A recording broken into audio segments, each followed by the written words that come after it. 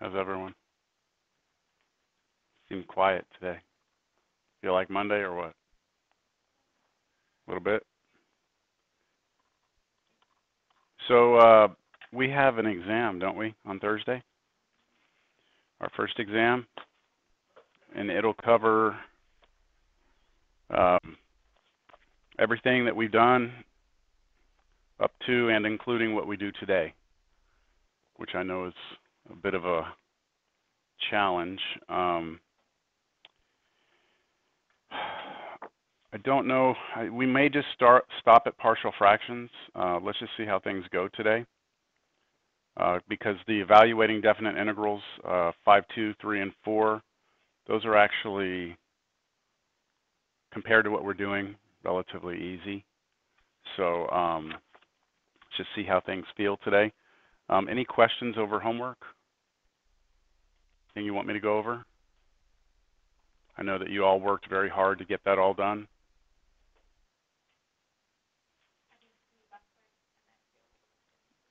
No? You didn't get any sleep last night? That's no good. Yes. 324, number 9.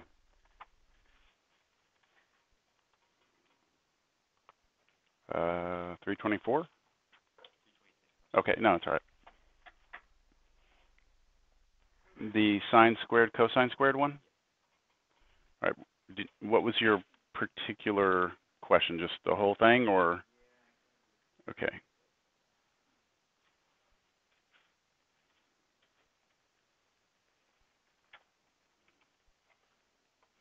It's a pretty ugly problem. So if you had an even sine, an even power on sine, I mean, sorry, odd power on sine or cosine, you would just peel off one of them, but they're both even. So anytime you see even powers on both sine and cosine, you know automatically you're going to be going to the power reducing formula. And since they're both even, that means they both get power reduced. So your first initial setup would be to rewrite sine squared as, see, how do you want to do it? You want to go 1 half minus 1 half cosine 2x. That would be the power reducing on this one. And then the cosine squared would become 1 half plus 1 half cosine 2x. That makes sense? Yeah. Okay, so each one of those uh, we can we can factor out a one half from from each of these. So we get two factors of one half that come out. So that can come out as a one fourth, and we're left with one minus cosine 2x, uh, 1 plus cosine 2x dx. So that was just to get rid of the fractions. And then really you have no option but to actually expand this out and see what it is. So multiply this all out. So that would be equal to 1 fourth integral C1 and then what happens here. The middle ones will cancel out, right, because they're the same thing. There's off by a sign. So all you're left with is that outside one, which is 1 minus cosine squared of 2x. Very important to remember that it's 2x, right, not x, so it looks like this.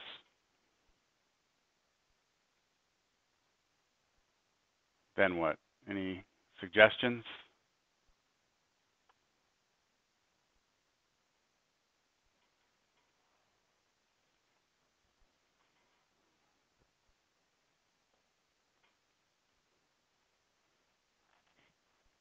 No?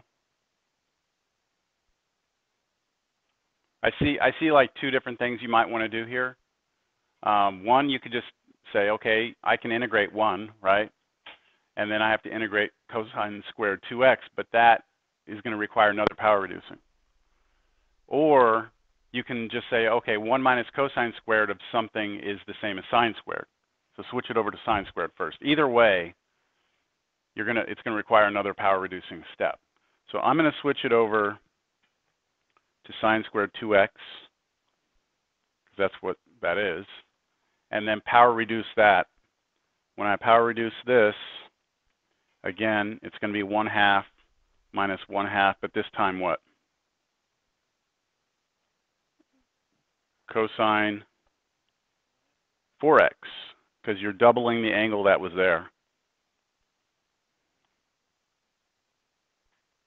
And then again, you can pull another factor of 1 half out.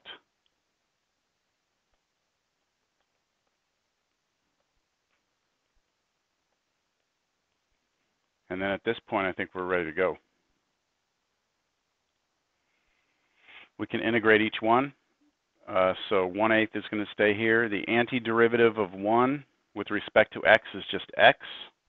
And what is the antiderivative of, let's ignore the negative for now. What's the antiderivative of cosine 4x? 1 fourth sine 4x, right? 1 fourth sine 4x. So you have minus 1 fourth sine 4x and plus some constant out here. And then just distribute through your 1 eighth and you're there. Make sense? Okay. Now, I, after looking at that, I'll leave that up for a second. Um, I actually kind of see something else we could have done in the very beginning that would have been even easier. But I don't know if you would have seen it. So let me show it to you. Um, the very beginning, you could have realized, do I need to go back down there for anyone? Are we good? Okay, so in the very beginning, you could have realized that this is the same as integral sine x cosine x quantity squared, right? dx. And then that almost looks like a double angle identity. Remember the double angle identity looks like this. Uh, sine 2x equals 2 sine x cosine x. What I mean is the part inside, this right here, looks a lot like this side, doesn't it? Except that I don't have a 2 there. So what I could do if I wanted to be kind of clever here, I could rewrite this as 1 half times 2 sine x cosine x quantity squared dx. And do you see that the 1 half times 2 is just a 1? But this 2 sine x cosine x is actually now just what? Sine 2x? Isn't it?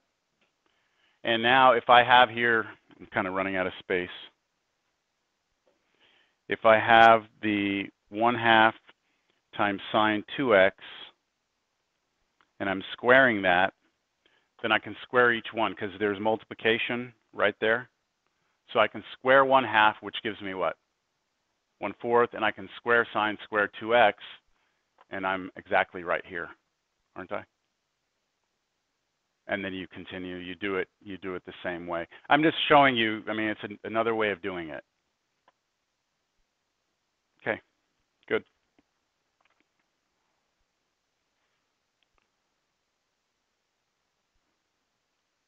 All right, let's get into today's business. If there's any other questions on homework, we can hopefully talk about it at the break or something. Um, so last time we were starting this partial fraction section, I said there's a bunch of stuff that we, we can actually handle right now. And we saw that some of these were pretty straightforward and some of them require quite a bit of work, especially these ones down here at the bottom. These uh, linear expressions over the irreducible quadratics or repeated irreducible quadratics, we had to like make the top look like the derivative of the bottom and then kind of peel things off and then we'd have to complete the square and it was a mess. But the idea is that we can handle that if, if need be. And that then led us into recalling what rational functions look like. You know, a polynomial over a polynomial as long as the denominator is not zero. And here were some examples. And then I said, hey, there's, there's a whole strategy for going about these. Um, but the main thing is that you need to know how to do partial fraction decomposition. I asked you to go home and look at it, look at my old videos, research it. I don't know if you did. So hopefully you did. Um, I will go through these examples today. And I'll assume you kind of acquainted yourself with it a little bit, but if you have a question, you need to just let me know. And if it's something that I think you should have already figured out, I'll just say, hey, you know, I think you just need to go back and look at that, all right? Because we can't go through an entire um, lecture on partial fraction decomposition today. So these are the steps. I will refer to these steps, the strategy, all right, as I work through the, these examples. So, because if I start reading through, it's not going to make a whole lot of sense. So let's start with this first example.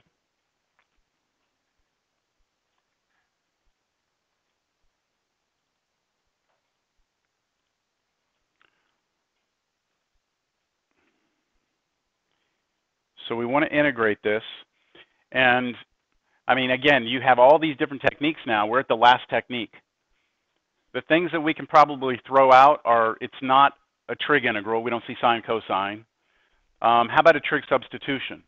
What are we looking for for trig substitutions?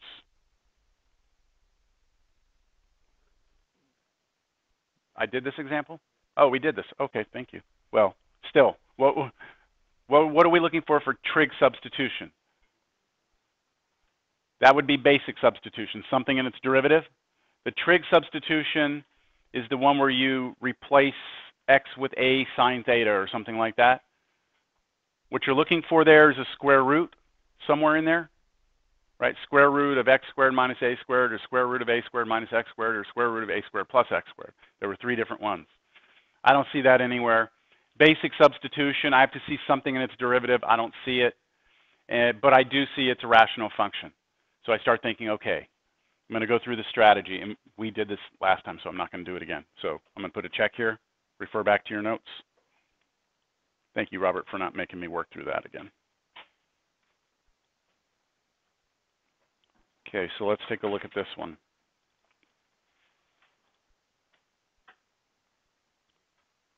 So again, after going through all the different things I, that I know it's not, I'm going to say it's a rational function and so the first step in the strategy, everyone have that down?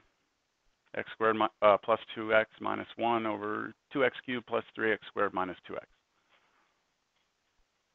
The strategy for this is to first inspect the degree of the numerator and denominator. If the degree of the numerator is less than the, the degree of the denominator, we move on to the next step, which is step, step 2. So in our case, the degree of the numerator is 2, degree of denominator is 3. Since it's smaller, we can move on to the next step. We don't have to do long division. Okay, that's good. So the next step is for the remaining rational function, use partial fraction decomposition to rewrite the expression. So what we want to try and do right now is see if we can take our rational function and factor it. That means factor the whole top, factor the whole bottom. And then we'll come back and take a look at which case we have. So this will be equal to integral. How does the numerator factor? Or does it?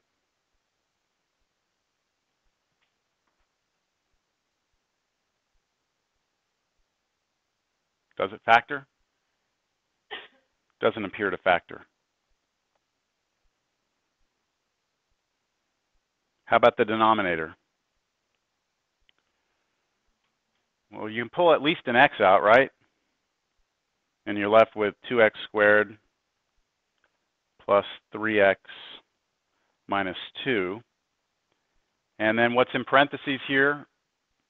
Trinomial, quadratic trinomial, that'll factor or no?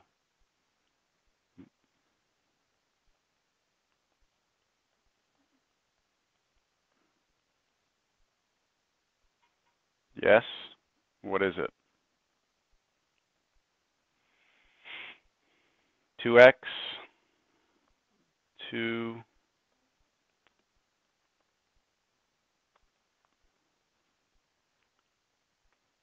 Does that look right? 2x squared plus 4x, take away x, take away 2. So that is the correct factorization of the denominator.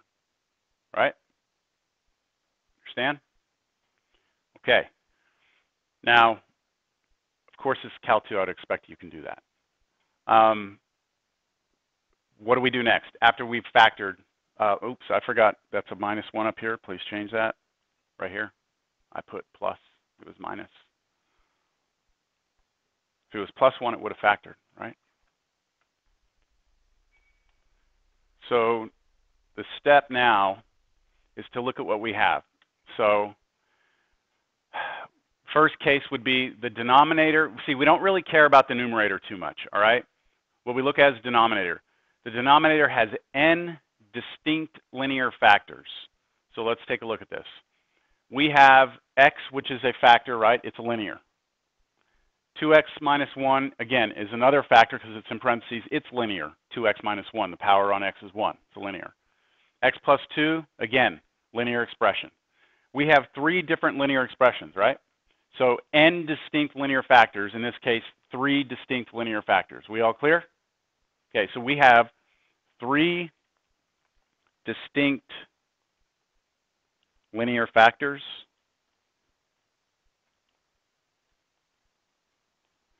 So since we have three distinct linear factors, one, two, and three right there, we will do what? We will rewrite the integrand. Now the integrand is, is the rational function. Here it is. It's, it's the, the numerator over our factor denominator. And what we have to do is rewrite it with some constant over the first linear factor, some constant over the second linear factor, and keep going until you get out to the nth linear factor. In our case, we only have three. So we are going to rewrite just the integrand. So I'm, I'm kind of stopping here and I'm saying, all right, here comes partial fractions. So here's partial fraction decomposition. So I rewrite the original problem.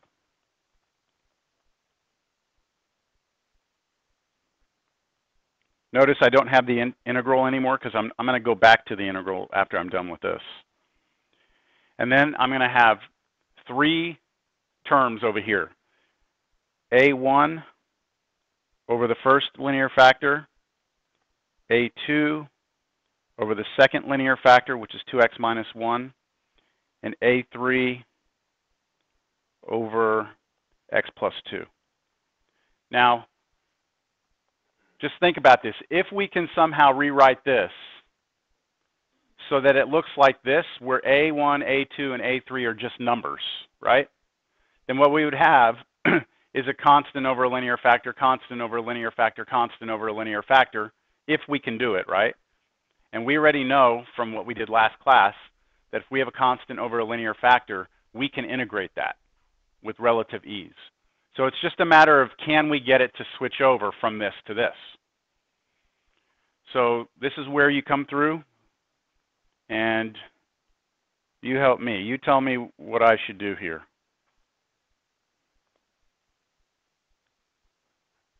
Anyone? Anyone? I, I would try to get my wife to watch Ferris Bueller's Day Off. She had never seen it. And like halfway through, she's like, "Do we have to finish this?" I'm like, She's like, what happens? I go, he just has a good day, I guess. I don't know. But I'm thinking about the teacher, you know, sitting there. Anyone? Anyone? Voodoo economics. No?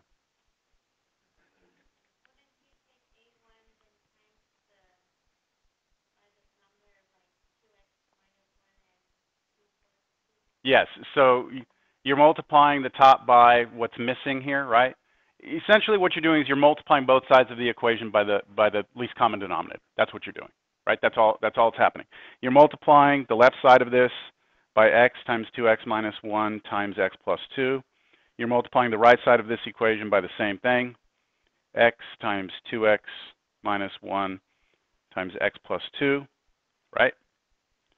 And when you do that, remembering that this must pass through to all three. And so when I do the first one, this whole thing times this first fraction, the x's cancel, right?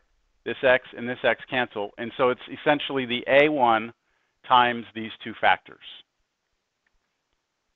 So I'm going to write that down. It's a1 times the 2x minus 1 times the x plus 2 plus, now in the a2, this time the 2x minus 1 factor cancels.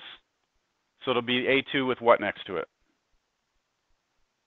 x and then x plus 2. And then the last one will be a3 with what next to it? x times 2x minus 1. Good. Y'all are answering today. All right, and on the left side, the denominator cancels out, and all you're left with is the top. Now this, this may look like a disaster, right? But the whole idea behind partial fractions is we're trying to figure out what A1, A2, and A3 are, right? I didn't mention this, but you could use, and a lot of books do use, instead of A1, A2, A3, they'll use like A, B, C instead. Capital A, capital B, capital C. The reason we use A1, A2, A3 instead is because when you think about this theoretically, this polynomial that factored on the bottom could have 40 factors, couldn't it? And if you have 40 factors and you want to use A, B, C, D, you only have 26 letters. So we use subscripts instead, subscripts you would never run out of, right? So that's why we do it. Um, all right, so what do we do here?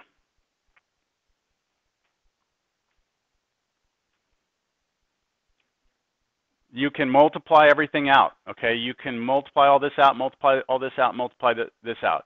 That's what I'm going to call the long approach. And then you can use another approach, which is a shortcut.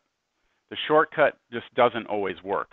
Um, you'll see when the shortcut doesn't work. So let me show you, I guess, the long way first. And that way, that way always works.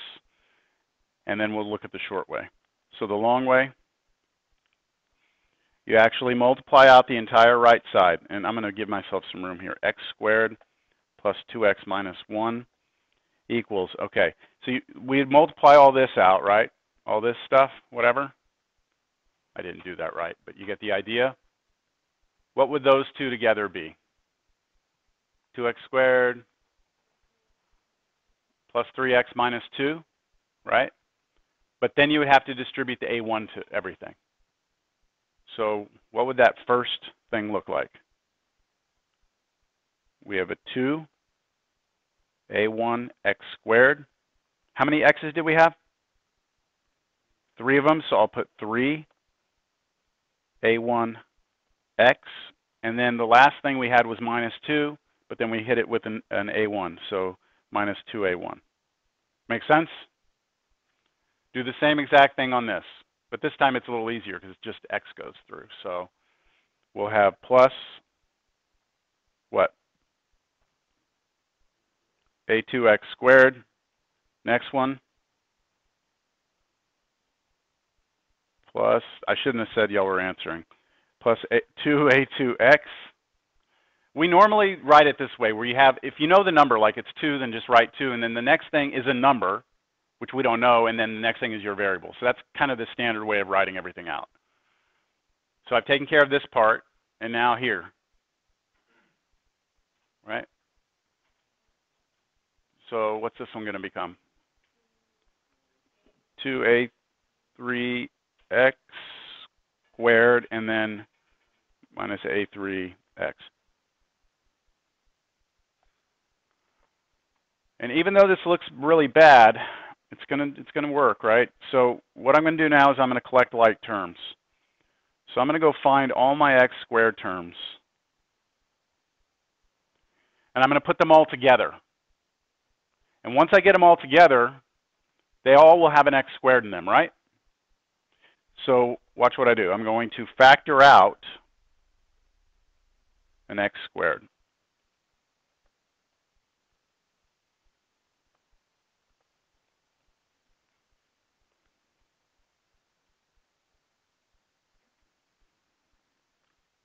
Really, I'm just putting the coefficient of this one here, the coefficient of this one here, the coefficient of this one here, and then pulling an x squared out.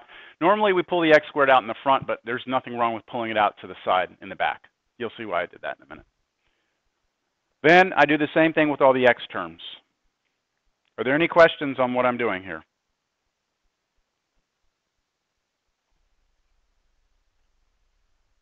So this will become, in parentheses, 3a1 plus 2a2 minus a3 with an x on the outside.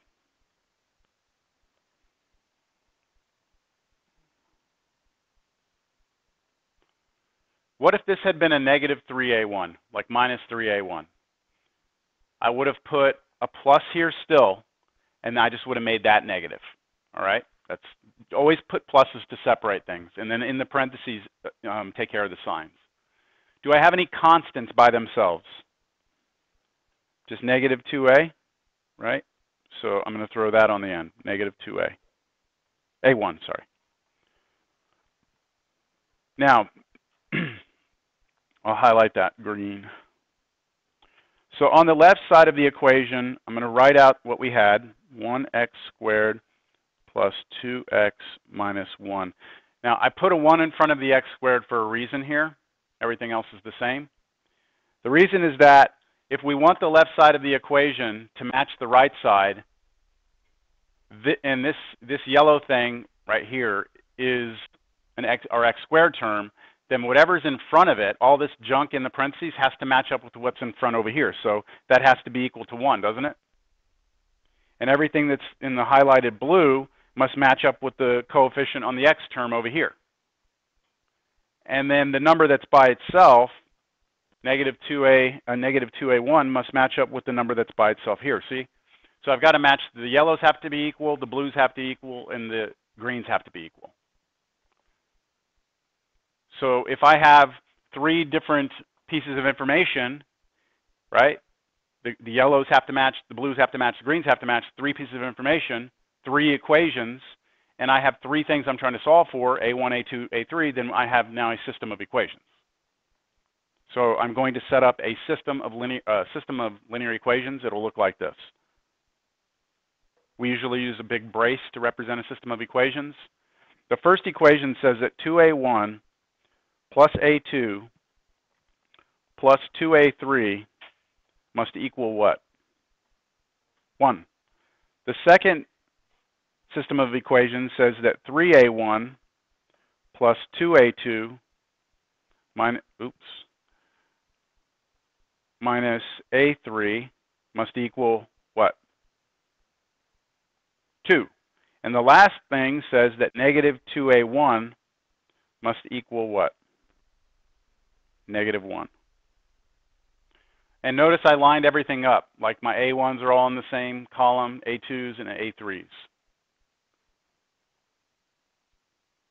All right, now in a college algebra class, you'd probably do this by hand and it would take a little while, right, to do. Um, since most of you have calculators that are capable of doing this, I want to make sure you all know how to use your calculator to do this, to solve the system of equations. So you have an option here of doing it by hand or by doing it on your calculator. So if you have your calculator, now would be a good time. Anybody not have a calculator? So I mean, don't own one that you you have one that you could bring. Do you know what kind it is? Yes, TI. Is it a TI? Yes. Anybody not have a TI? Everybody has a TI. Yes. Okay. All right, so this is going to work a little different for every student, all right, because even though all the TIs are pretty much the same, uh, there's little differences as the models got more and more advanced. So the method I'm going to show you right now to do this is a method that will work with all of the TIs. If you um, are already real good with your calculator and you know how to do this, I'm not trying to reteach you, just do it the way you know how to do it. But this way is kind of universal, all right? So what you want to do is we're going to first convert this over to what we call an augmented matrix. So what we're going to do is we're going to write just the coefficients of everything we have here.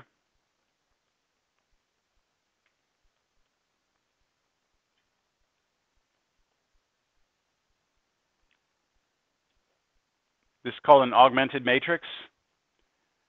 And let's just remember what, what everything means here, right? The 2 is the coefficient on A1. The 1 is the coefficient on A2. The 2 is the coefficient on A3, right? What we're going to do is we're going to send this matrix into our calculator, and we're going to be using this function called RREF. And what it's going to do is it's going to spit out something like this, hopefully.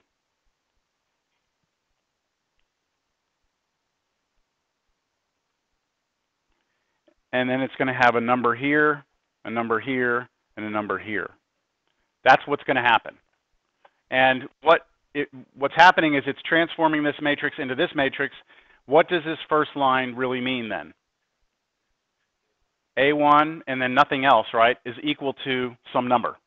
And the second line means A2 is equal to some number, and this last line means A3 is equal to some number. So essentially the RREF function in the calculator solves for A1, A2, and A3.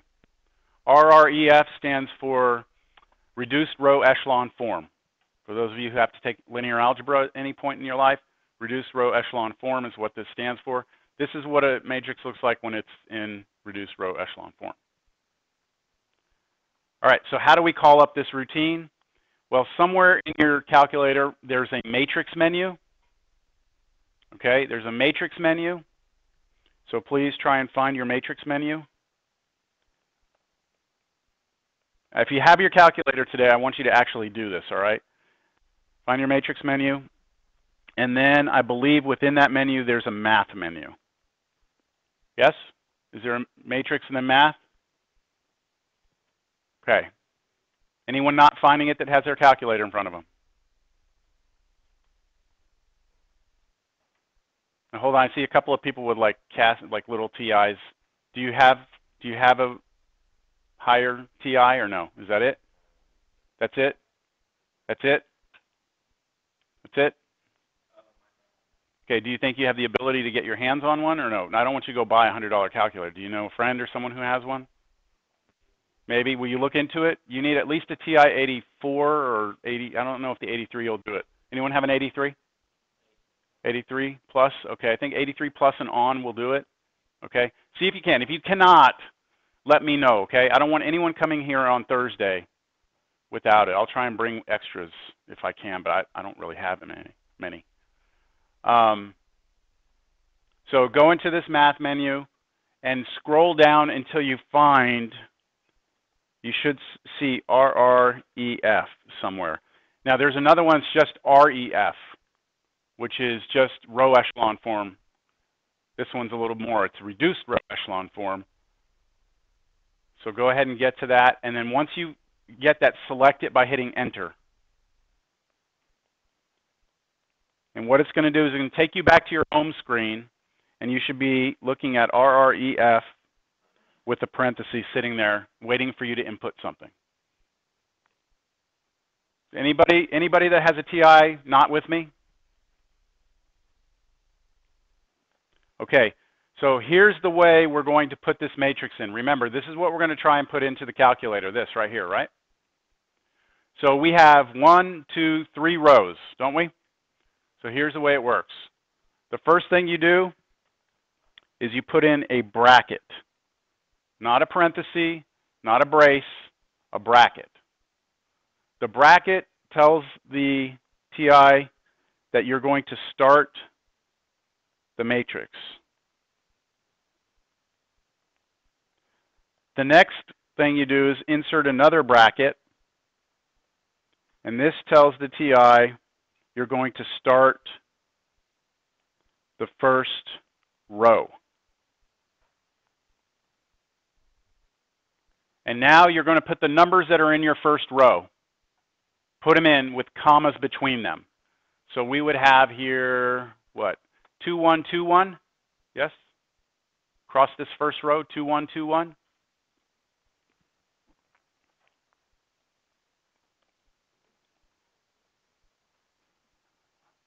And look, remember what I said a minute ago. I realize there are other ways to do this. You can insert a matrix a lot easier than this, but this works for all the TIs, so that's why I'm showing you this way. I closed it with the bracket. What does this mean? End first row. What do you think we want to do now?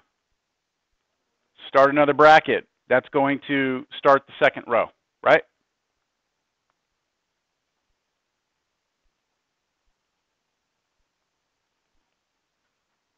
And now you put in the numbers. What are the numbers? Someone read them out for me.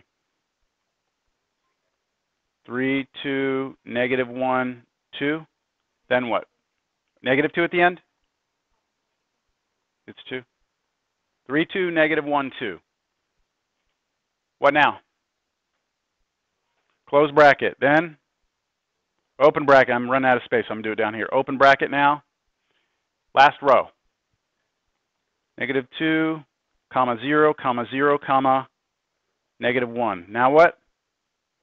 Close bracket. That ends the third row. Now what? Close bracket again. What does that do?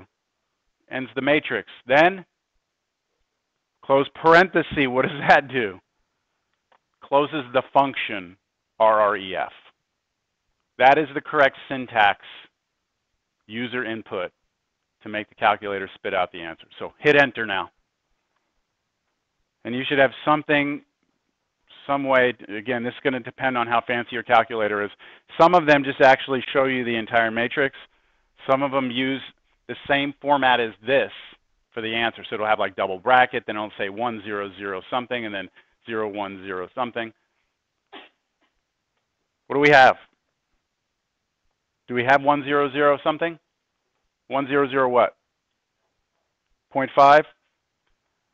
010.2? Uh, 001, negative 0.1. We, anyone agree with that? Yes? Okay. Now, we're not going to use decimals. This is calculus two. It, I mean, if it's, if it's a decimal and we can't tell what it is, then sure. So 1 half is 0.5, right? 0, 1, 0, 0.2 is 1 fifth, and 0, 0, 1, and then negative 0.1 is 1 tenth. Okay? This is, this is A1, that's A2, that's A3. These are your answers. Yes? It's above the 7? Where is it? It's above the 7? Do you see it just right, the button above the 7? Is it there? It's right there. I know. Sometimes it's right, the obvious thing right under your nose, right? I was going to suggest you return that if it didn't have the comma. All right, all of this, right, everything we've done here so far, and, and trust me, this, this work that the calculator just did for you saved you about 15 minutes easily. Well, maybe not. This one wouldn't have been that bad. But all of this was just so we could come back and say that this original integrand, right, is really this. Yes? So now we're done with the partial fraction decomposition. We will re revisit the integral. So let's go back. Now the integral, let me and that go back to the integral. This integral now becomes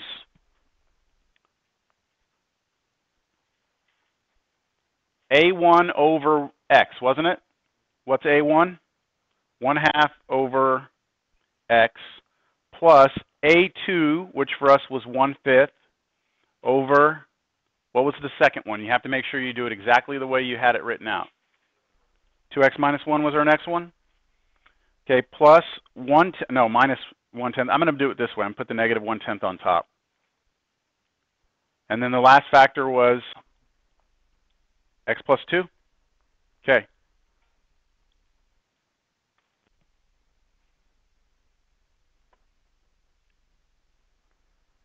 I'm going to go a little slower than I normally would here.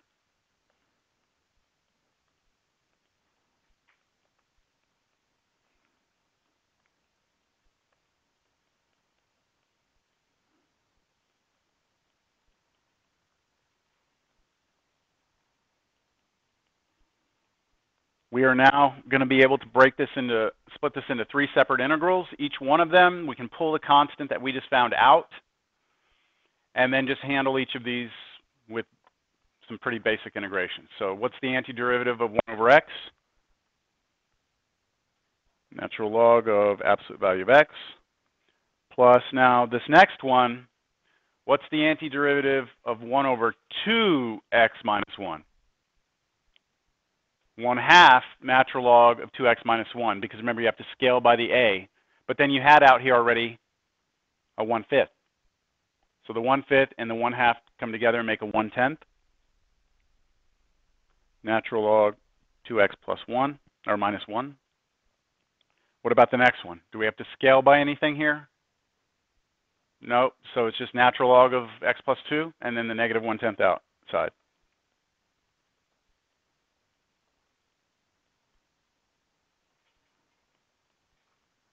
Plus c.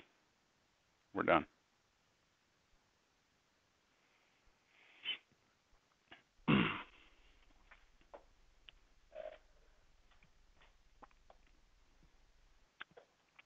Only took like half an hour.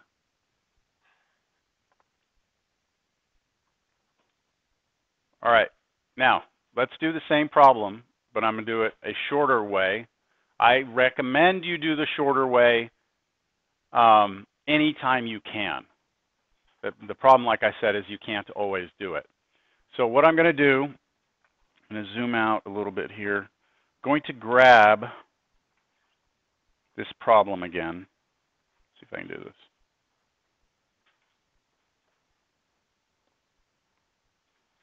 Everything is the same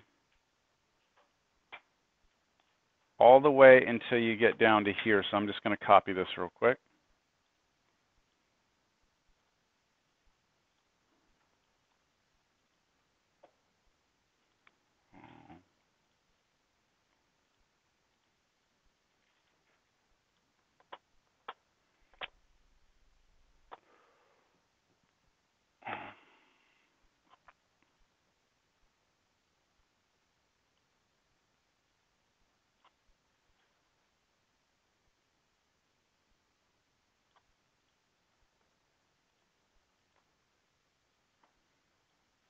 All right. So everything would be the same. You have to figure it out, multiplied by the LCD, and you get to this point. And this is where we, we distributed everything through, right? Then matched things up, made our matrix.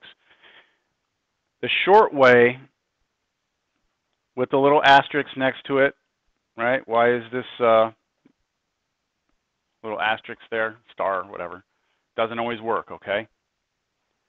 What we're going to do is we're going to try and figure out what these are without having to actually multiply it out. So let's focus first on trying to figure out what A1 is. To figure out what A1 is, what I need to do is I need to kill all of this junk out here off. Kill it. Make it go away. And that would make it much easier, wouldn't it? Is there something that you could do? Is there an X value that you could plug in that would make this whole term and this whole term go away? If x was what? Zero. Do y'all see that? If I plug zero in here, it kills this one off. Zero kills this one off. Zero does not kill this one off because these two factors don't go to zero. And then I have to plug zero in on this side. So let's just see what happens if I let x be zero. My entire equation turns into, what's the left side? Zero, zero, and just negative one, right? Negative 1 equals A1. What is 2 times 0? Take away 1. Negative 1. And then what's uh, 0 plus 2? 2. That's multiplication there. And then we know that these all went away, right? Everything here is gone. Well, that's just saying that negative 1 equals negative 2a1, right? And you can divide both sides by negative 2 and get what? 1 half. Well, that was easy, right? That matches what we had before, right? From the matrix? Yeah. So this way is really, really convenient. Now what we would do is we would do the same process, but now let's see, is there a way that you could get A2? So this time you, you don't want this one to go away, so you need to be able to kill this one and this one. So what can you do? Is there a factor that's in this one and this one that's not in this one? The 2x minus 1, right? So how, what x do you plug in here to make this whole thing 0? Just 1 half, right? Just set it equal to 0 real quick, solve it, you get, you get 1 half, right? So if I replace x with 1 half here, x with 1 half here, those will both, these two on the outside will go to 0. But I have to do it for the whole damn thing. All right, so go again. Let x be equal to 1 half. All right, let's look at this left side. What's 1 half squared? 1 fourth. What's 2 times a half? 1 minus 1? 0. So you just get 1 fourth on the left side equals, this whole thing we know is already going to go away. Then we have plus A2 times, let's see, we're replacing this x with 1 half, so 1 half. And then replace this x with 1 half. What's 1 half plus 2? 5 halves. And then what about the last one here? It's gone, right? And now we have a nice little linear equation here in A2. So 1 fourth equals, uh, what's that, 5 fourths? A2. And then multiply both sides by 4 fifths, and you get 1 fifth is A2. And does that match what we had? Yes?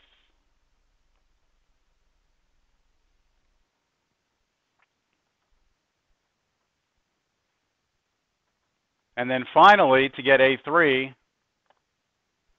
we need to kill these two off. So what do you plug in? Negative 2. So let x be negative 2. And if you do that, I'm not going to go through the work. A3 should come out to be 1 tenth. Make sense? And then you go and you know plug everything back in, and you're done. So this is very, very nice when it works. And it works a lot of the times. Is it negative 110? Thank you.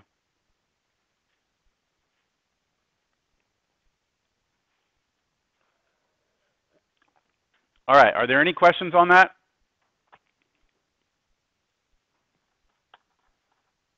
So take a look at this next one.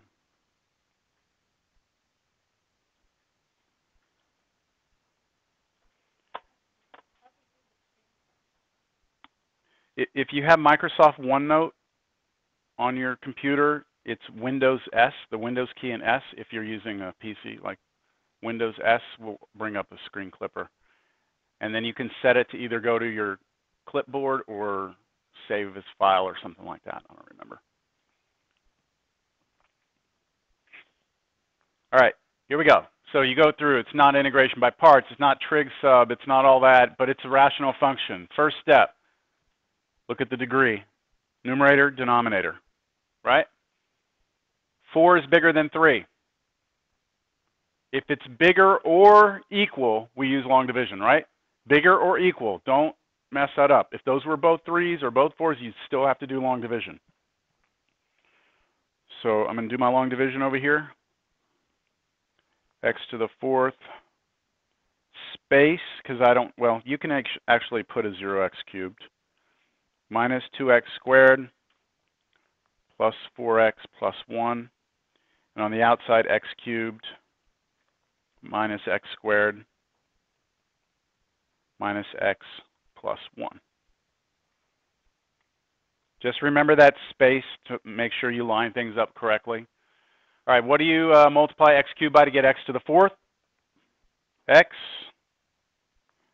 And then you go ahead and, and multiply this x times every term here, put them underneath, then you're going to subtract or change the signs. So we have x to the fourth minus x cubed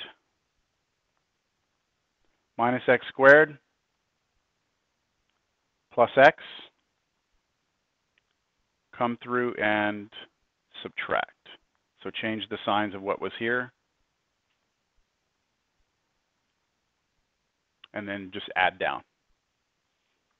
What's left when I when I do this? What's down there? x cubed. Is it plus x squared? We should just have minus x squared because it was negative 2x squared plus x squared. And then how many x's? Three x's. Just remember, change your signs, right? And then bring your 1 down.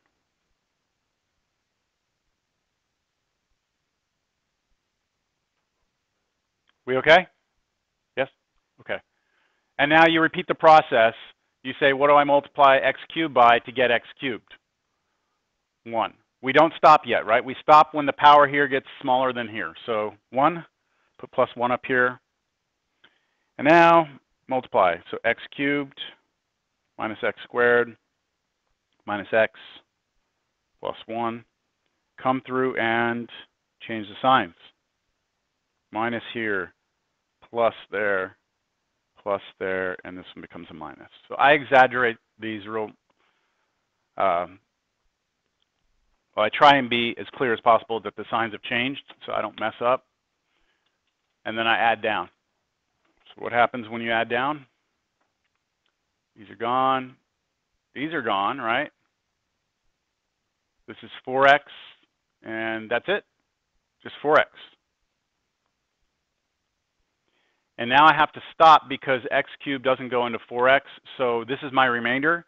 So I put up, put up here plus my remainder over my divisor. My divisor was x cubed minus x squared minus x plus 1.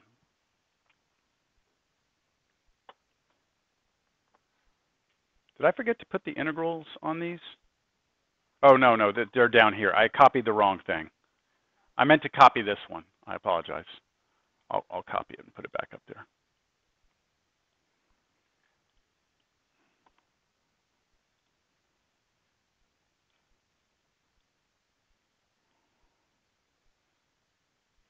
Because it was an integral we were doing, right? Okay, so what we're saying is that this integrand can be replaced with this expression. And it's actually not that bad of a thing because we can integrate the first two easily. The last one, though, we have to work on. And it's, it's still a rational function. It's not the same as this one. But now the power on top is smaller than the bottom, so we'll go to the next step, which is to factor everything. So let's, uh, let's write what we have so far. Do we agree that this is equal to 1 half x squared plus x plus this new integral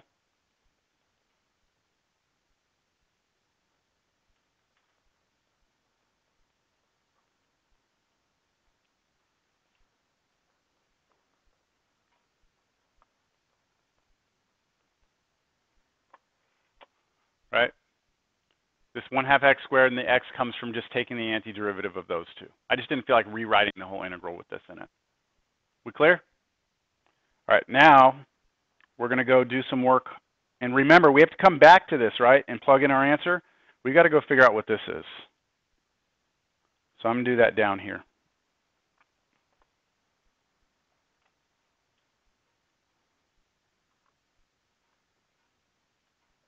I want to know what the integral 4x over x cubed minus x squared minus x plus 1 dx's. If I can figure that out, then I'll be done. So I'm going to try and factor the denominator. How does the denominator factor? Or does it?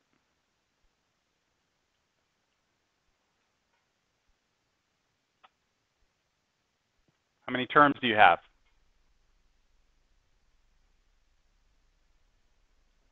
Four? One, two, three, four, right? Whenever we have four terms, we try grouping. Grouping doesn't always work, but that's what we first initially try. So remember how to do grouping?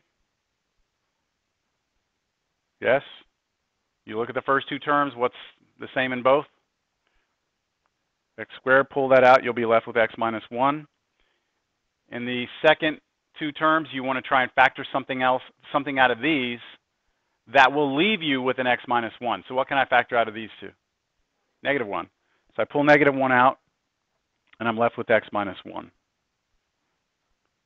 Since the x minus 1's match, I can factor an x minus 1 out and be left with the coefficients that were in front, x squared and minus 1.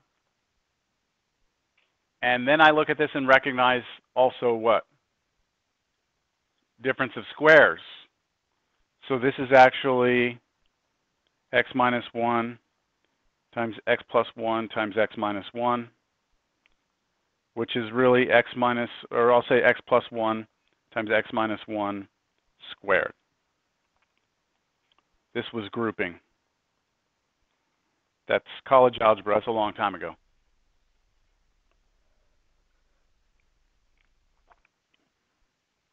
Questions up to this point?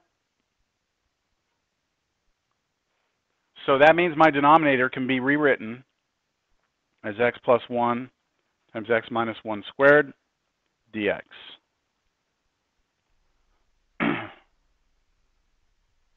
let's go back and look at the notes on the strategy on how to do these. And let's see what we do in this case.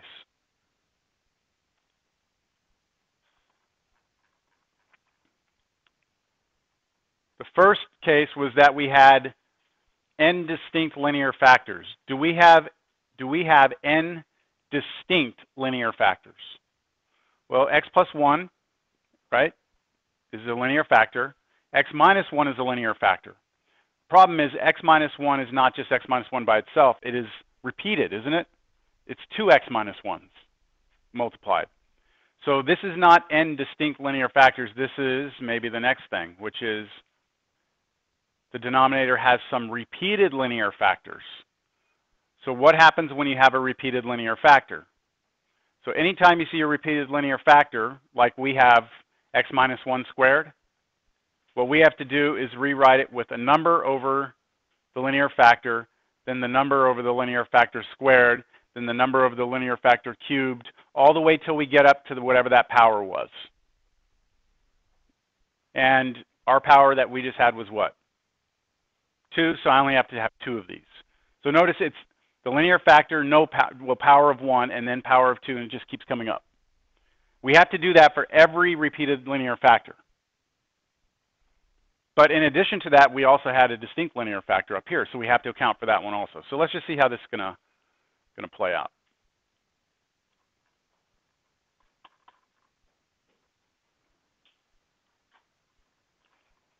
So I'm going to start my partial fractions. I'm going to start on the next page. Partial fraction decomposition. So we have 4x over x plus 1 times x minus 1 squared equals, all right, let me start with the x plus 1. Because it's x plus 1 and it's a distinct linear factor, I'm going to say I need a1 over that. And that's it. That's all I need for the x plus 1. But because x minus 1 is squared, I'm going to need to add to this another constant, I'll call it a2, over the x minus 1. Then another constant, a3, over the x minus 1, but this time squared. And I keep coming up with powers, right? If this were a third power, I'd come up and I have an a4 with x minus 1 cubed, but I stop as soon as I get to the highest power I see here, which in this case is 2. Understand? Good? Now, same thing we did last time, multiply by the LCD on both sides. So what's your LCD? Everything down here, right, on the left side? Multiply everything you see there on the left, on the right, We know that on the left they go away, which leaves us with 4x equals. Now, what about on the right side? What happens when you distribute this one through to here? Just a1 times x minus 1 squared. Just the x plus 1 goes away. Plus, what about on that a2 one? An x minus 1 cancels with one of the factors here, but not both of them. So you'll still have the x plus 1. You'll still have one factor of x minus 1. So it'll be x plus 1 times x minus 1. And then plus a3. And when we do this to this, the only thing left would be what? x plus 1. There we go. Let's try the short way. All right, let's try and see if we can do this. Short. Let's try and get A1. How are you going to get A1? Kill both of these, right? x is what? Negative 1. Let x be negative 1. In that case, the left side becomes negative 4. The right side is just a1, be careful here, negative 1 minus 1 squared. Right, I'm replacing that x with negative 1. Negative 1 minus 1 is not 0, it's negative, negative one, 2. And then I square it, right? So what happens when you uh, square negative 2? You get 4. So 4a1 equals negative 4. So a1 is what? Negative 1. All right, feeling good. Now let's try and get a2. Can we get a2? We have to kill this one and this one off. Can't do it. Can't do it at the same time. See, if I say, look, to kill this off, I have to let x be 1, right? But that won't kill this off. And if I let x be 1, what's it going to do to this? Kill off a2. So there's not an easy way to get a2 right now, is there? But maybe we can get a3. Can we get a3? a3, we uh, let x be what? 1. So let's let x be 1.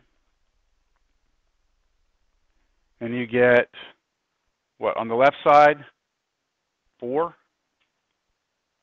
equals, we know this is dead. We know this is dead. And we plugged 1 in right here. 1 plus 1 is 2. So equals 2a3. So a3 is 2, isn't it?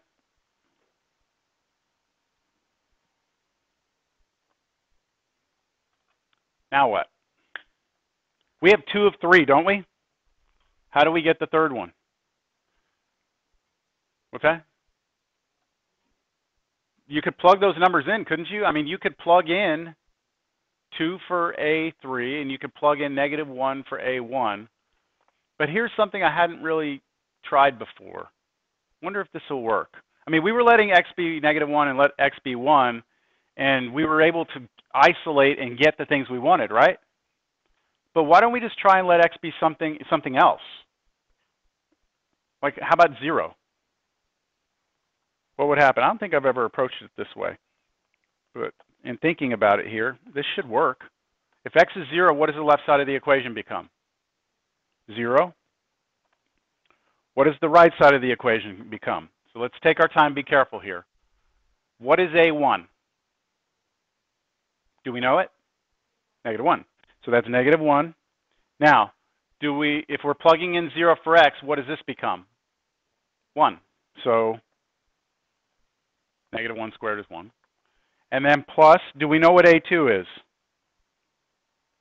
No, but that's what we're trying to solve for. What happens when I plug in 0 here and 0 here? You get, what, 1 times negative 1. What's 1 times negative 1? Negative 1, so I have negative 1 multiplied there. And then plus, what's A3? 2, and then times 1. So you get 0 equals negative 1 minus A2 plus 2. A is, A2 is what? 1. Hey, that worked. Nice.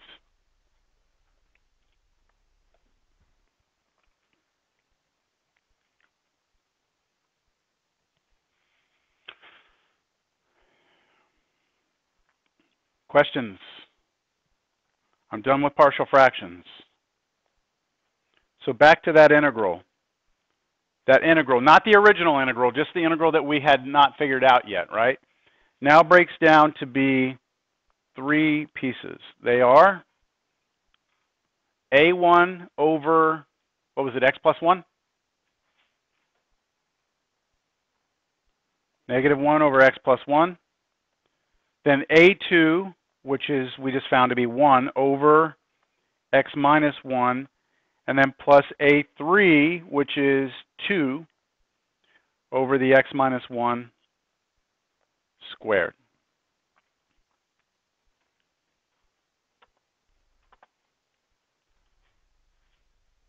And what I'm claiming now is that each one of these is, is done with relative ease. This one right here, what's the antiderivative of negative 1 over x plus 1?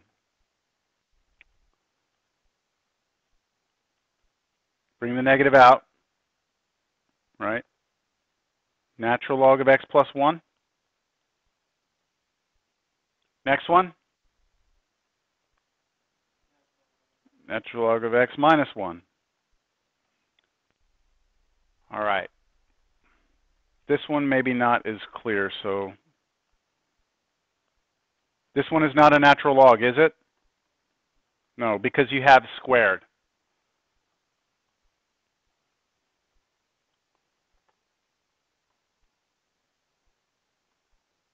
However, we did this last class. Remember, I said there was a bunch that we should know how to do. This was, we did number three and number four. We had a constant over repeated linear factor. So this was a basic U substitution. So if you wanted to go through all the work, you would write, rewrite U as the x minus 1, du is dx. That integral would become integral uh, 1 over u squared du, which is integral u to the negative 2 du. I'm doing that quickly because we already did this last class and a long time ago too. So what is the antiderivative of u to the negative 2? Negative 1 over u. So this will become negative 2 over x minus 1 then everything else out here.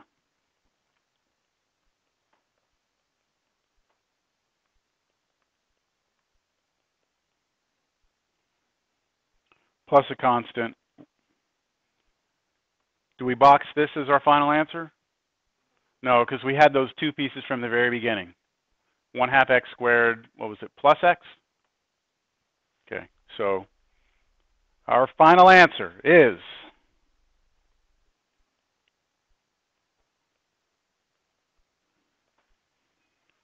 1 half x squared plus x minus natural log x plus 1 plus natural log x minus 1 minus 2 over, I already forgot, x minus 1 plus c.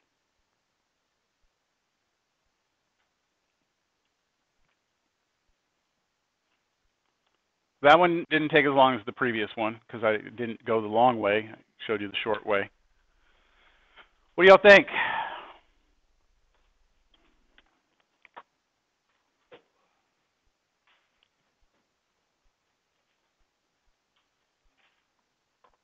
Go look.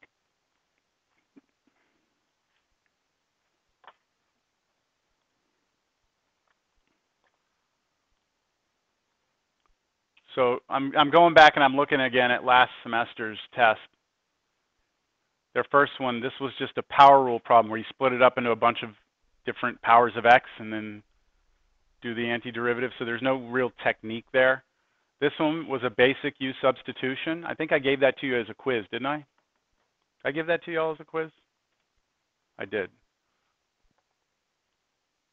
This one was another basic substitution that wasn't very natural, I believe. You use, use um, 2 plus x this one was a trig substitution. You had to rewrite this as a square root cubed.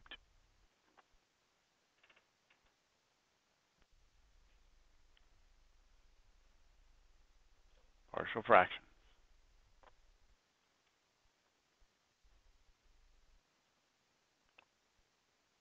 This could be partial fractions, but look, it's a linear expression over quadratic. This is that one where you where you look at the denominator as u, right? The derivative of the denominator was what? Is what? 2x plus 3. You try and make that look like 2x plus 3. That's where you massaged it and moved things around.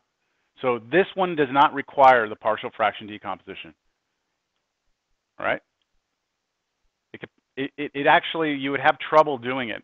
We should actually look at this problem in a minute. Because I remember when I gave this on a test, students tried to do partial fraction decomposition, and it was a disaster. A disaster. They wasted like 40 minutes on it because it, it wouldn't go that way. All right. This one, what's your instinct tell you? Integration by parts. What does this one tell you? What's that? It's just a basic U sub. This one again got them also. The last problem test, they were expecting it to be the hardest. If you just take this, the, what's under the root, the derivative of this is exactly that. So this is just 1 over root u du. So that's u to the negative 1 half. I'm not saying you're going to be given something like that. I'm just trying give you a perspective of what they got. Okay, so you can see that there was at least one partial fraction problem in the test. You should expect the same. Um,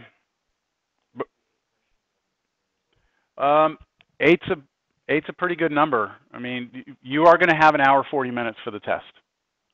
Remember, it's not going to be the whole class.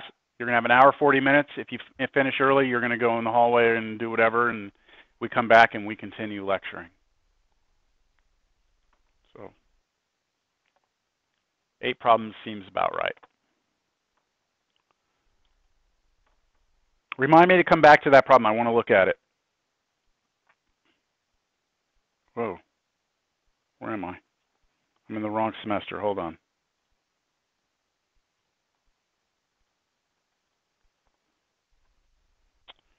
All right, let's look at this next one here.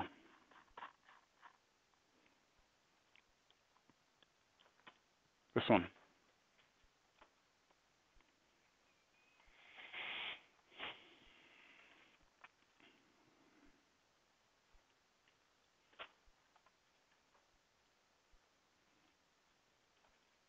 Do I need to do long division?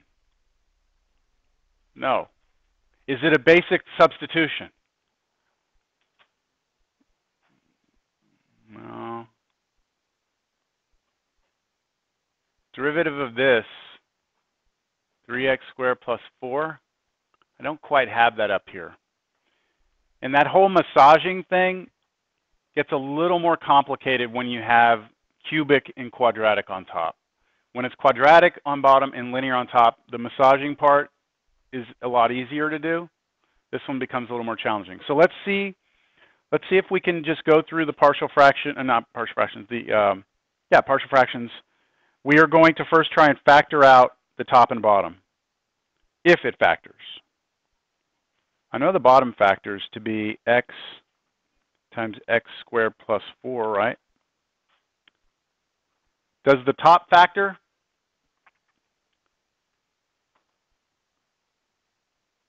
Doesn't look like it. It doesn't.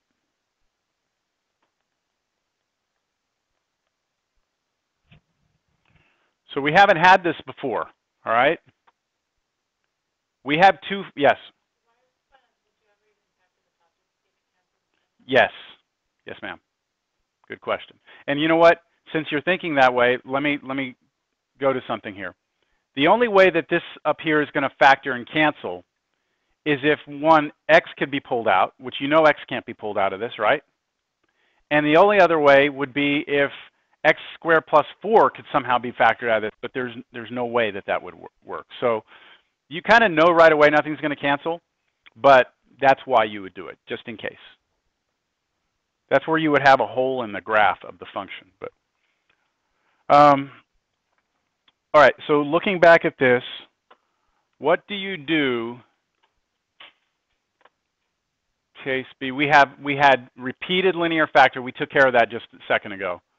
How about an irreducible quadratic factor? That means you have a quadratic down here that you can't factor down. x squared plus 4 is an irreducible quadratic. That can't be factored any further, can it? Right? Not over real numbers. You can factor that with imaginary numbers, but not with real numbers. So we're kind of stuck. That's an irreducible quadratic factor. What is this? A linear factor. So we have a linear factor and we have an irreducible quadratic factor. So what do we do in the event that we have an irreducible quadratic factor? Let's see. For every irreducible quadratic factor, all right, for every irreducible quadratic factor, we are going to rewrite the irreducible quadratic factor, but instead of putting just a number on top, what are we going to put on top? A linear expression. Okay, let's see this in action. Here comes my partial fractions. 2x squared minus x plus 4 over x, x squared plus 4. This is equal to partial fraction decomposition. Um, take care of that linear factor first, the x. So how about just a1 over x? We good? Plus, now for the irreducible quadratic factor, I'm going to put another constant a2x plus another constant a3. I could use ab or you know bc or something like this, but I'm using a1, a2, a3 to represent all my constants, so let's just stick with that. Over what? My irreducible quadratic factor. Okay. Questions? Irreducible quadratic factor, you put a linear expression on top. Why do we want it to turn out to be quadratic on bottom, linear on top? Well, because last class we said we could deal with irreducible quadratics on the bottom and linear on top. We said we could handle that, and that's why it's going to work. The question is, can we actually rewrite it this way? So what do we do next?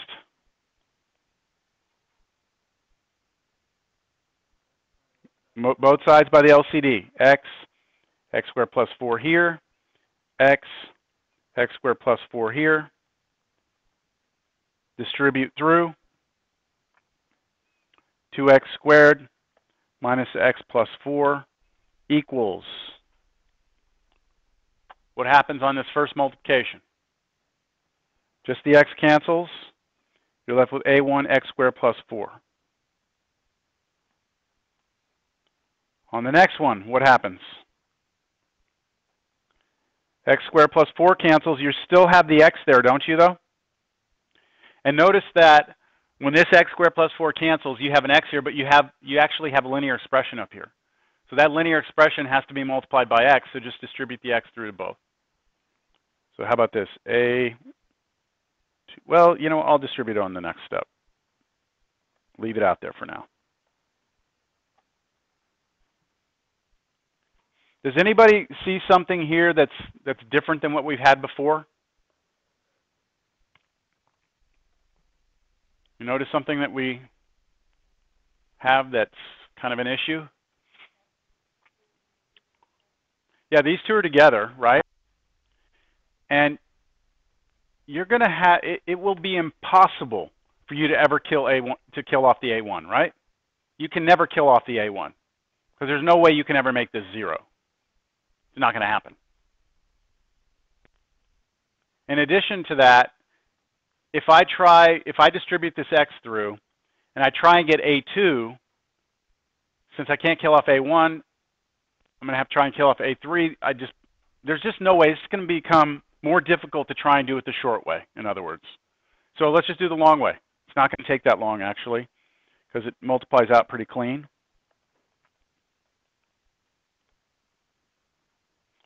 So what do you get here? A1 x squared plus 4a1 whoa, plus a2x squared plus a3x, yes? Which equals, put your x squareds together. What do you have? a1 plus a2 x squared. Put your x's together. There's only one of them, right?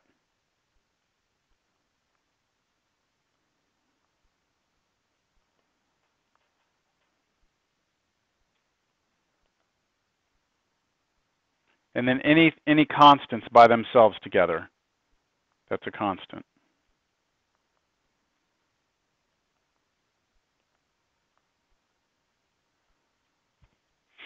That must equal the left side.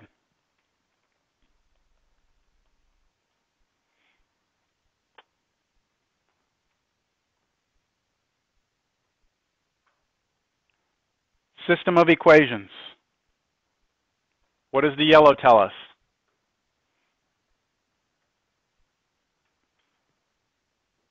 A1 plus A2 equals 2. What does the blue tell us?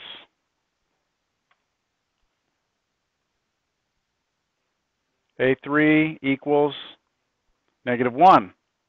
What does the pink tell us? A1 equals, well, sorry, 4A1. You, yeah, A1 is 1. Is that okay if I just divide by 4?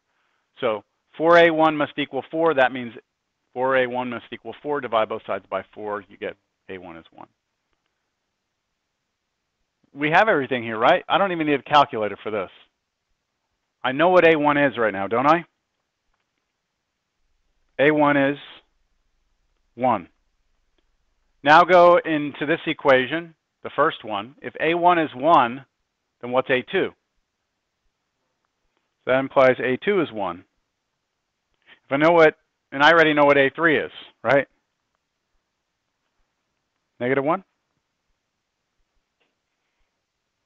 So that one we got, we did have to multiply everything out, but we didn't necessarily need a calculator to do the solving.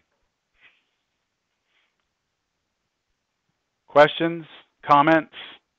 Concerns? Complaints?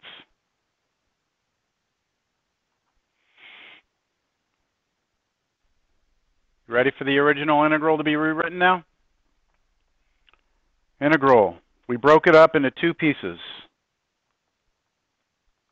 Right? It was a1 over x, so 1 over x,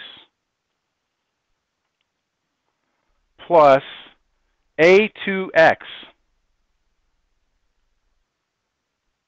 plus a3. So what is that going to become? x minus 1 over x squared plus 4.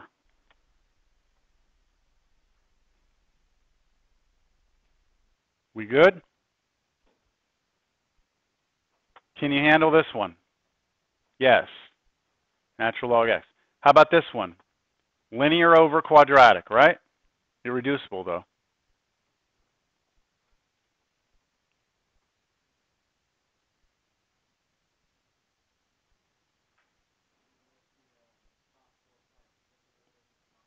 Okay, yeah, so that's what I was going to ask you. Do you want to do it this way? Do you want to say, okay, this is going to be my u. What's the derivative of this? 2x, so I need to make this look like a 2x. You could do that. But also notice this, because there's no x term in here, right? Doesn't this x squared plus 4, like if this up here was just a number, like let's say 1, wouldn't 1 over x squared plus 4 be, uh, we take the antiderivative arc, arctan or something like that, right? If it was a number up there. So, wondering how obvious this is to you to just split that integral up into two integrals. You can do it because you have um, two terms on top, and you can look at the, in, the entire bottom like this. Isn't that the same? I took the antiderivative 1 over x in natural log, and then just wrote the x over this, and then wrote the negative 1 over this, but then pulled the negative 1 out. See, that way, this one you're going to do with your basic u substitution. u is x squared plus 4. Derivative that's 2x. You're off by 2. That's fine. This one, arc arctan. You're there. So I'm just going to write down what the, what the answer should be here. I'm not going to go through those because those are pretty basic. Um, plus 1 half natural log x squared plus 4 I'll put underneath what I did for this integral. I did u is equal to x squared plus 4. Basic u sub on this one. This one, straight to the formula. Remember in the formula, um, we had x squared plus a squared. So a for us would be what here? 2. So in the formula, it's actually minus, because there's minus. What was it? 1 over a arctan of x over a? 1 over a arctan of x over a plus c.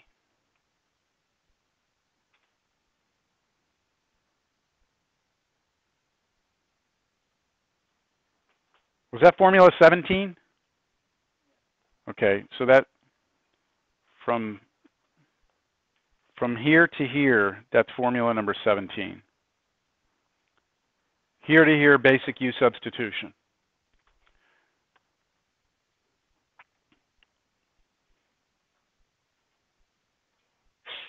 Class.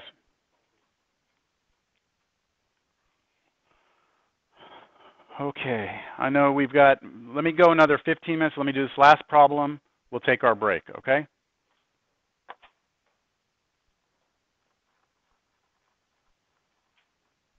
For some reason, by looking at you all, seems like this stuff isn't getting you very excited.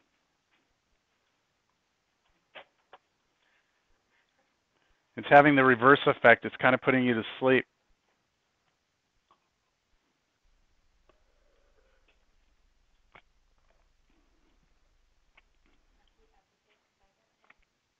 I don't know. That depends on you, I guess.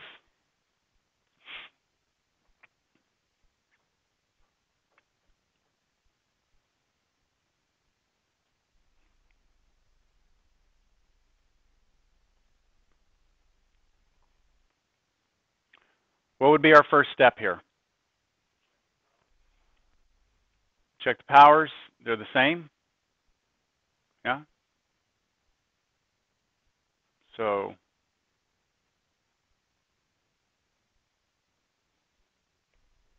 Long divide, you want to do long division? Okay. You do long division. While you're doing long division, I'm going to try something else.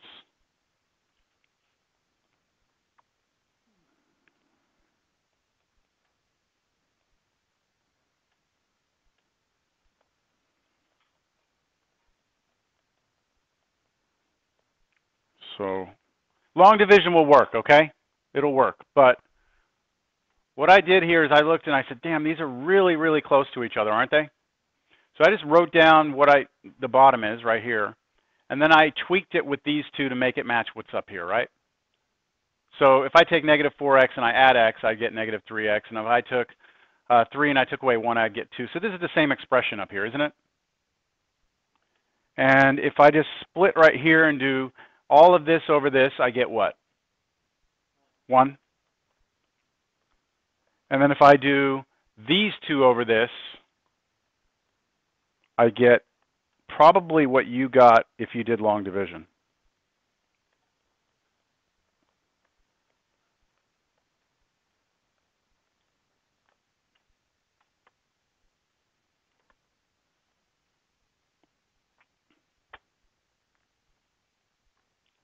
Either way, you need to be able to get from there to here, right? Now, what about this? The linear over quadratic, right? Linear over quadratic. You you do this is where you could run into an issue. Let me let me actually go one more step. Let me take the antiderivative of one because it's in my way.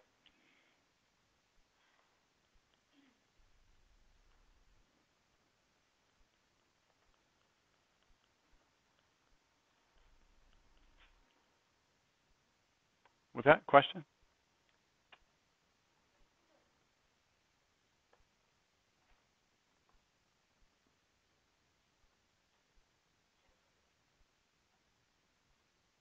Three minus one is two.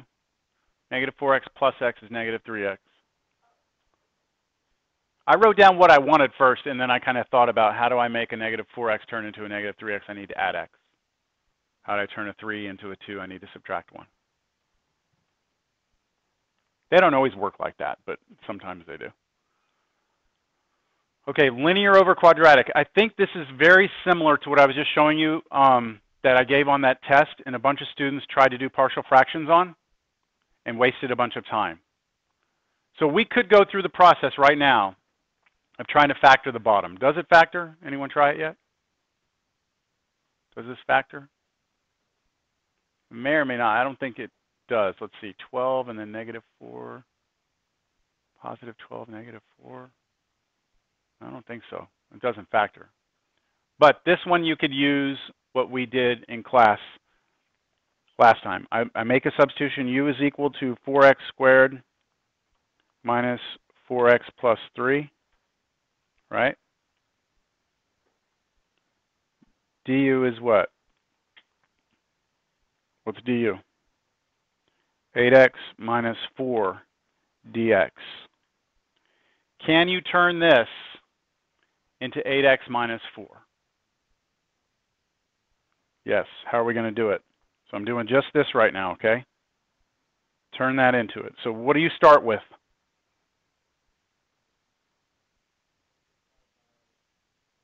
One eighth, right? So you start with the coefficient on x. You need it to be an eight, so we start there. I do one eighth on the outside, then I distribute an 8 through the top, through the whole thing. So 8x minus 8 over 4x squared minus 4x plus 3. Be really careful there. That 8 that you come in with, 8 over 8, that 8 that goes through the top must go through both, right? If it's only on the x, then you did not distribute it through correctly. Now it's looking closer, right? I need this, this not to be a minus 8. I need it to be a minus 4. So this is where I said, just come in here with that hidden 0, right? I want to subtract a 4 and add a 4. What was, what was already there? It was minus 8.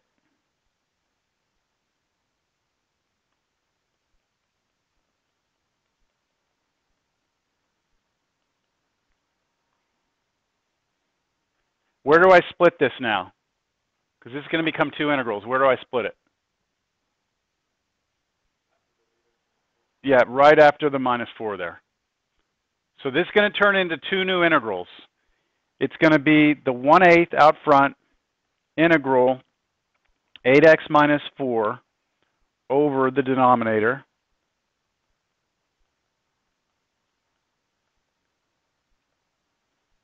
plus 1 eighth, and now what was the, what were these two together? Negative 4 over the 4x squared minus 4x plus 3 dx.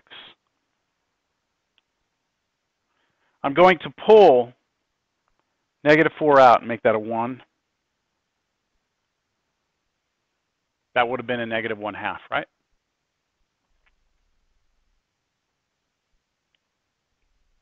What is the antiderivative of this first integral? By design, that's this is 1 over u, isn't it? 1 over u du. So what's the antiderivative of 1 over u? Natural log. So we get 1 eighth natural log 4x squared minus 4x plus 3 and then over here, minus 1 half integral 1 over 4x squared minus 4x plus 3 dx.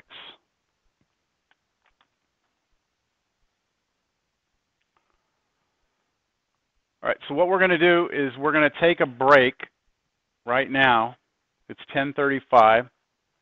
Um, you have a 10-minute break, which is going to take you to 1045.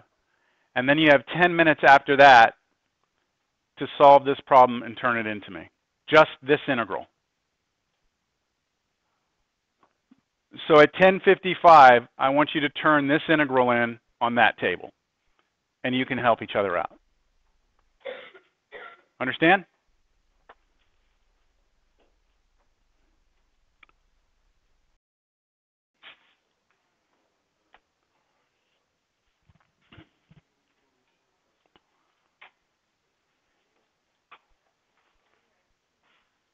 I've placed the homework assignment for partial fractions up here.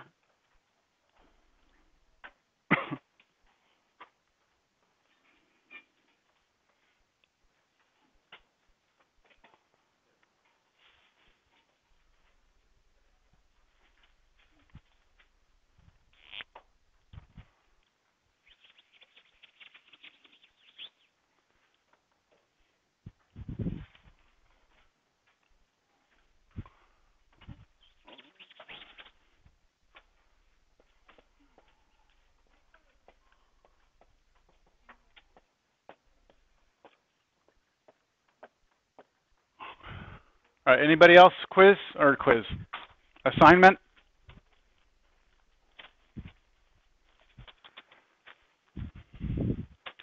So how did that one work out? What did you have to do? Complete the square, right? Okay. Complete the square. When you complete the square, you had to do what though first?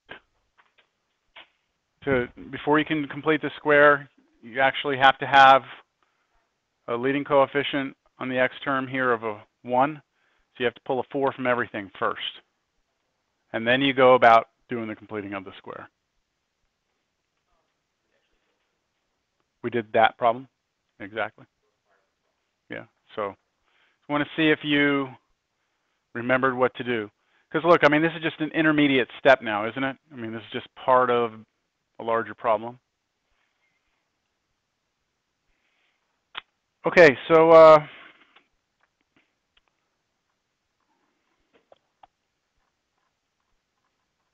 let's say that everything that we've done up to there for sure is going to be on the test. All right, so and now we're going to start something new. And after I'm done, I'll ask you whether or not you want that to be on the test or not. I know you want to, you already say no right now, but just give it a minute. Maybe, maybe you'll change your mind.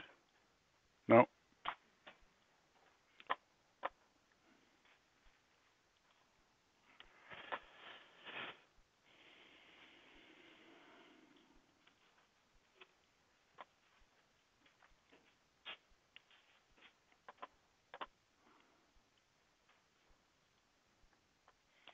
We are going to step away now from what we've been doing, which is just here's an integral, evaluate the integral, use a technique, right?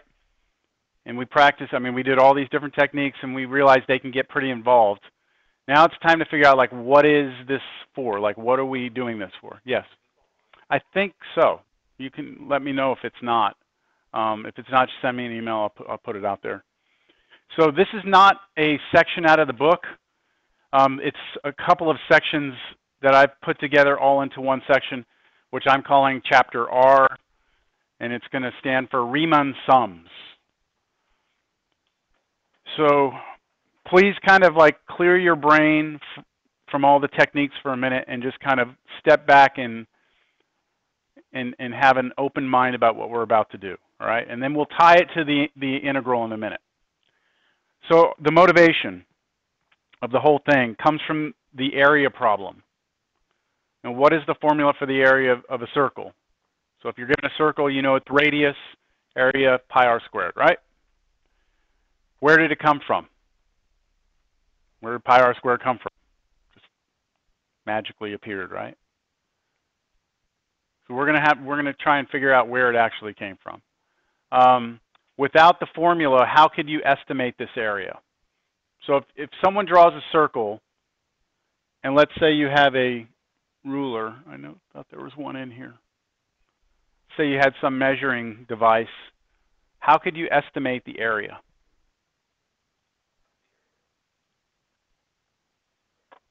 Okay, so you could you could do something like draw a square inside of it, right? and that wouldn't be enough, right? But that would be easy to find the area of a square. So you could do that, and then maybe you could draw another rectangle in here, and then maybe draw another one in here, and keep drawing rectangles.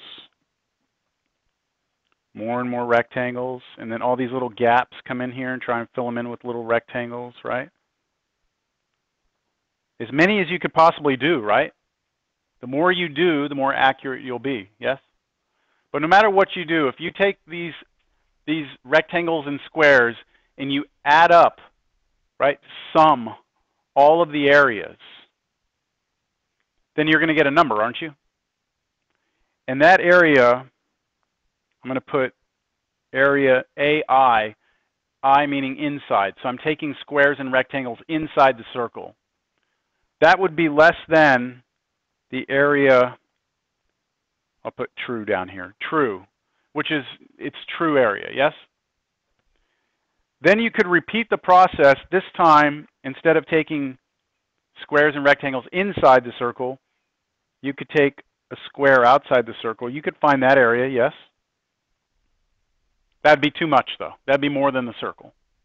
So then you could, from that, start subtracting little rectangles and things in here, couldn't you? So if you take the big square and subtract the sum of these little squares, you would get another area. And that area would be the outside, right? The outer areas. And that would be bigger than the true one. Let's say in. Understand? The more rectangles you do, the better your, your instrument of measuring, the more precise it is, the better your estimation becomes. And what you do is you try and squeeze the true area in between, in between two values. And these are going to get closer and closer to each other, right? And you get almost like this kind of squeeze theorem thing happening, two numbers that are both going to the same place. And that's, that's how you could do it, right? Without a formula pi r squared. And even though this looks like, well, I mean, why would you ever do that? This is the way it was done for a long time.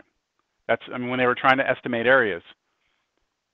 Now, you could look at it a different way, and instead of doing rectangles, you could do triangles, because areas of triangles are easy to find, aren't they? One half base times height. So I could do triangles. By the way, this circle right here, I believe, has a radius of, of 1. Um, I believe. So I could do smaller triangles, right? And add all those up. And if I zoom in, let me try and zoom in here. You see we have error, E-R-R-O-R, error, right? The mistake is that we didn't account for that little sliver of, of yellow. But that's because we're using triangles you, um, smaller they are, I mean, bigger the triangles are, the more error we have, right? As we let the number of triangles become larger, our error starts to vanish, doesn't it? Never truly goes away, but it begins to get less and less and less. So imagine, though, that you could let these triangles get so small, infinitesimally small, that they just turn into just single like rays, you know, not array, line segments. What's the problem with trying to find the area of a line? It's, it's a line. It's one-dimensional, right? Or two-dimensional. Sorry, has one-dimensional. You don't have a second dimension for width if it's just a line.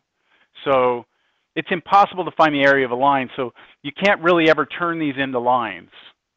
But the idea is that you let them get smaller and smaller and approach a line without actually getting there. And that's where the whole limit from Cal 1 allows us to let something either become infinitely big or infinitely small without actually ever getting there. So there looks like there may be a way to attack this problem using a limit.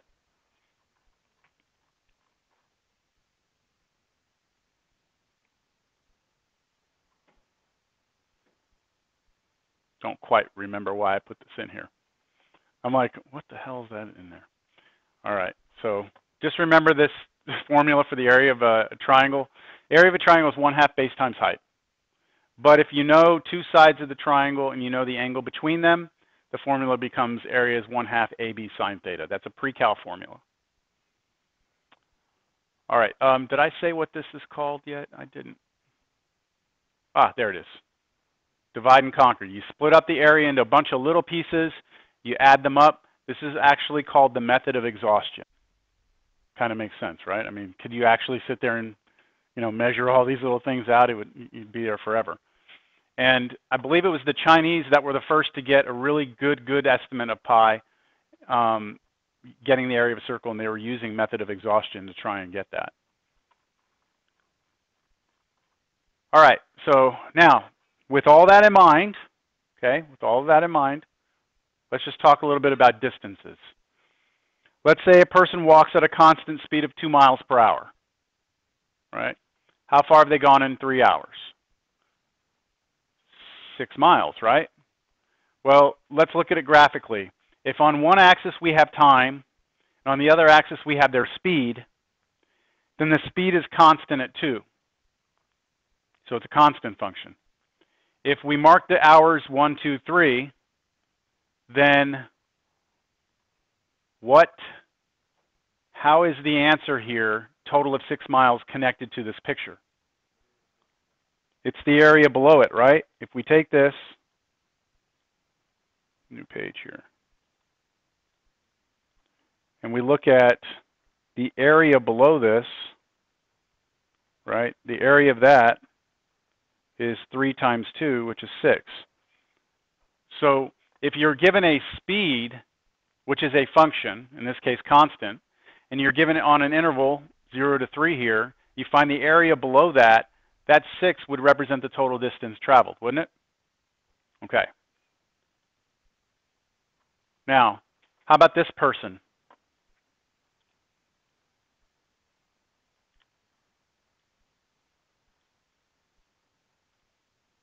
How far does this person go between two and five hours? So look, th this is a different problem because the speed is not constant, is it? This is speed, this is time. So they're not walking at constant speed. Their speed changes as time goes on. They're getting faster as they go. But the speed would represent, uh, the total distance would still be represented by the same geometric figure. It would be between two and five hours. It would be this total area. Could you figure out what that was from this picture? Yeah? What's this area right here? What's the area of this? It'd be the height is one. How wide is it? Three? Three units wide? Yes? One unit high, so the area here would be three. What about the area of this triangle? So what's its height? appear to be? What's this height? Two, and the width we or the length we already knew was what? Three. So area of that is one half length, one half base times height, which would be three again. This times this half six, so this would be three. So the area, total area here would be what? Six. So how far did they go? Six miles. So as long as you can find the area below the, the speed function, you can find the total distance they traveled. Does that make sense? Okay. Close this one.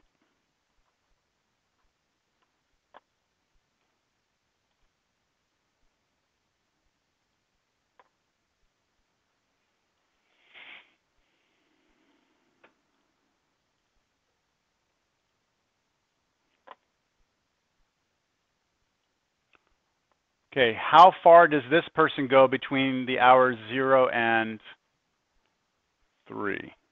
Get off of there. Okay. Between 0 and 3, how far does this person go? So notice that the speed function here in red is not straight, right? We don't have a triangle anymore. It's curved. It's the function x squared. So how are you going to find these areas if it's not a rectangle, it's not a triangle. How do you do it, right? Understand the dilemma? As soon as the function becomes something interesting, our little method fails of just getting rectangle and triangle. All right, so this is where we're stuck. So what we'll do is we'll do an approximation using rectangles. So we need an efficient way of determining the areas of functions. We we use areas of rectangles to do it. So look, if we want to know the area underneath this blue curve, what I could do, and, and please pay attention to, to um, what's happening here. I am taking, me take it so I can write on it real quick. What I'm doing is I'm taking some points here. Um, I'll call this x0, x1, x2, x3, x4, x5. These are the x values right here.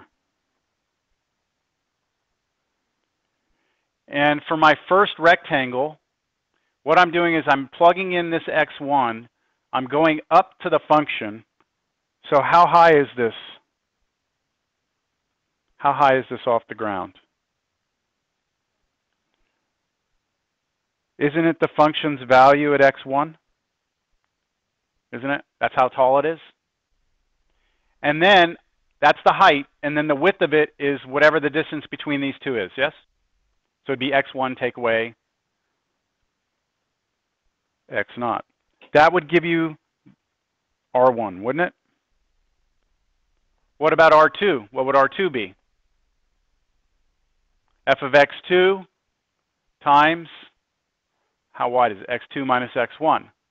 Understand? This is called taking right endpoints because I'm, I'm actually creating a rectangle. I'm going up and then back over to the left. You could do it the other way. You could pick a left endpoint and go to the right, but this, this is called using right endpoints. And if I take these and I figure out, you know, what R1, 2, 3, and 4, and 5 are, if I add up those areas, I'm going to have an approximation approximation, not the exact area. The more rectangles we have, the better the approximation. Uh, we will need a way to add up many rectangles, right? If we're going to try and get a good approximation, we have to be able to add them up. The more rectangles we have, oops, that's repeating itself. So here's, here's an example. Here's a blue curve, and I'm going to try and find the area underneath it. Now, the true area, just so we know, is 41.33, 333 repeating. That's the true area between 1 and 5. This area underneath is 41.33. Right now I'm estimating it with this big gray rectangle. How wide is this rectangle? 4. And how tall is it? 25. 4 times 25, 100. My estimate is 100, and it sucks, right? I'm not even close. So what I need to do is maybe add a couple of more rectangles. Or do something that's going to make my computer freak out. There we go. So how about two rectangles? So now what I've done is I've taken the interval 1 to 5, which we said was what, 4 units wide? I've cut it in half. And then I've gone up, plugged in, found the width of this, or height, and then the width. Whatever that area was, what is that area, by the way? How wide is it? 2. How high is it? So you have to know what the function is, right? I'm using the x squared function. So how high is this? 9, right? 3 squared is 9. So 9 by 2. 9 by 2 is 18. So that one's 18. This one is 2 wide also. How tall is it? 5 squared is 25. So 25 times 2 is 50. So 50 and 18 would be 68, and that's my approximation. Again, that approximation sucks com compared to the true value. So I go with three rectangles. And now look, it's 58.5. Keep going, 54, four rectangles, five rectangles, six, seven, eight, nine, 10. The more I have, look at what's happening. This approximation is getting closer and closer and closer, isn't it? Now let me back this back out to one. Uh, remember I said you could take the right endpoint, go up and go over. You could do the left endpoint. So this time I'm taking the 1 and I'm going to the right. Look at this estimate. 1 squared is 1. How wide is it? 4. 1 times 4 is 4. So my estimate's 4. I'm way under the true area. So I add a second rectangle. So notice, left endpoint go up and over. Left endpoint, up and over. You see the difference between left and right? Yes? This is giving me an underestimate. I'm under the true value. But if I keep adding more and more in again, I start to converge to the true value. And what would happen if I let it go? Let's see how far I have this going out to. 70, right? 40.64. The true value is 41.33. Is that close enough? That would depend on what you need to do with this, right? I mean, if you're building, a, you know, ball bearings, your tolerances probably can't be off by that much. You need it to be a little better. So, I mean, how would we get better? We do more. And it turns out that in the real world, a lot of times we don't have easy ways of getting exact answers. We have easy ways of getting approximations. And the thing is, how far out do you need to go? How many decimal points do you need? And that will depend on the application. So, okay, bring this back. There's also something called using the midpoint, where instead of going and using the left and going up and over, or using the right and going up and over, you just go into the middle and go up and go out both sides. Now look, that first approximation is 36. I mean, we're pretty close right away, right? Go to my second approximation, 40 already. 40.7, 41. Look, I'm getting there pretty close. I mean, pretty fast, right? I'm getting pretty close to the true answer. I'm already within a tenth of it.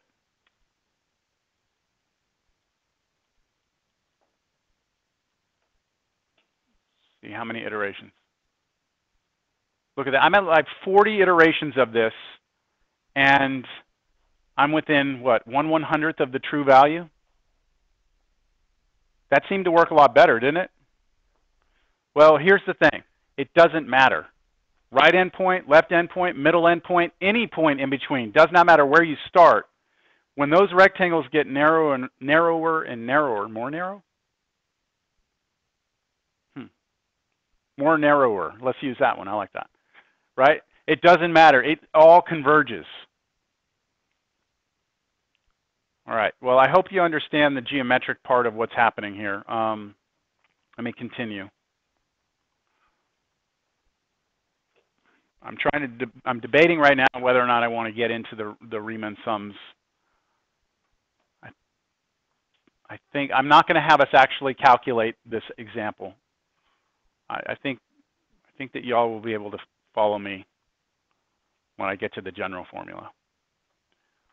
So if we do left and right endpoints, doesn't matter. We're going to get we're going to get different answers, but the more rectangles we have, the better we, we would the better results we'd get. So let's review some stuff before I actually get into the Riemann sums. Some some notation. Have y'all seen this before? Capital Greek S sigma k equals 1 to n a sub k. All this means is you start at 1, you put a sub 1, and then add to it now you let n go up, or k go up by 1. So a sub 2, then plus a sub 3, and you stop when you get to n. So whatever this is up here. Here's an example. The sum k equals 1 to 3 of 1 plus 2k squared. So the first thing I do is I replace k with 1. That's right here. Plug it in, square it. That gives me 3 squared. Then I plug in k is 2, do the same thing. k is 3, do the same thing, add it up, you should get 83. This one, you can do this yourself. This is 1 to the 1, plus 2 to the 2, plus 3 to the 3, plus 4 to the 4. And you stop, add those up, whatever it is. Why am I adding between each one? Not multiplying. Summation, that's what summations do. There's actually one that, that um, there's another symbol we use if we want to multiply instead. We use capital pi. It's called a product. So it'd be written the same way.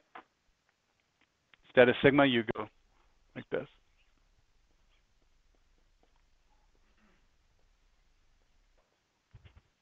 That would mean A1 times A2 times A3 times A4 instead of A1 plus A2 plus A3. You probably won't ever use that in this. Well, we won't use it in this class for sure product, P. So that's why. Right, so the sigma capital S, sum, P, capital P, product. All right, so common sums. there are some sums that, that everyone needs to know exists. Um, there's formulas for it, for them. This is the first one. Sum k equals 1 to n of k. That means you're going to start with 1 and then add 2, then 3, then 4, then 5, then 6, and 7. You add them up until you get to some number, n. If you do that, it's just n times n plus 1 over 2, always. So if you want to add up the first 200 numbers, 1 plus 2 plus 3, all the way to 200, all you have to do is 200 times 201 divide by 2, and that would give you 20,100, which is a lot better than actually having to sit there and add up 1 plus 2 up to 200, right? That formula will always work. Then if you want to do the sum of the squares, k equals 1n of k squared, that's 1 squared plus 2 squared plus 3 squared plus 4 squared all the way to n squared, then the formula is different. n times n plus 1 times 2n plus 1 over 6. And then if you want to do the sum of cubes, 1, 1 cubed plus 2 cubed plus 3 cubed all the way to n cubed, the formula is, it's actually kind of neat. It's this formula squared. And then there's formulas for like 1 to the fourth plus 2 to the fourth plus 3 to the fourth, but that's about all we're going to investigate, all right? Just be aware of those because I'll refer back to those formulas in a little while. A couple of properties of sums that we need to know about. Sorry, I should have done that earlier. If you have the sum and sum from 1 to n and you have a constant in here, you can pull the constant out and figure out what the sum is. Then multiply times the constant. Here's an example. If I want to know what this is, I could have pulled the 3 out, then done k squared. What's the sum k equals 1 to n of k squared? What's this piece right here? Isn't that formula I just showed you? Which is this. But then the 3 is out front. So you, you peel the 3 off, figure out what that is, and then multiply the 3 back through. If you have this uh, summation and you have the sum of two different things, you can split it into two sums. Does not work for multiplication. Does not work for multiplication. Here's an example. If you have sum of k plus k squared, you split it into two, and then these two go to the formulas. Questions? I know this is really dry and boring right now. This is the same thing. I don't know why it went back.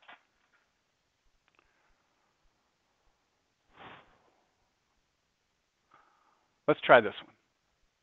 I want to find a formula, a formula for the estimated area under f of x equals x squared on the interval 1, 5 using n rectangles and right endpoints.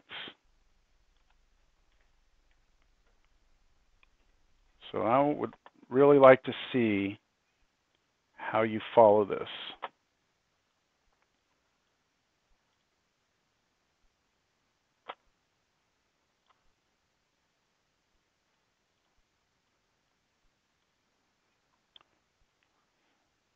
Our, our end game goal here is to have a formula that works for every function. But I've got to start with the function at least we have some idea of what's going on. So let's just draw a quick little graph. Actually, I'm going to make it kind of big. Don't draw a tiny little graph on your paper if you're if you are taking notes. Right, give yourself some room. Here's one, two, three, four, five. And then x squared is going to look like this over here. It's going to go up. That's supposed to be a parabola, sorry. That's x squared. And that's on the interval 1, 5. What I'd like to do is cut this into n rectangles.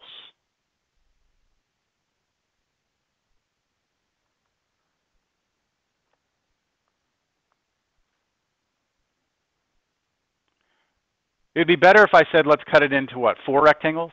Because then you would know exactly where things were here. But you're going to have n of them. So let's, I'm really hoping that I, I didn't push too far. Let's just imagine that you have a bunch of rectangles in here, okay? Bunch of little rectangles in there.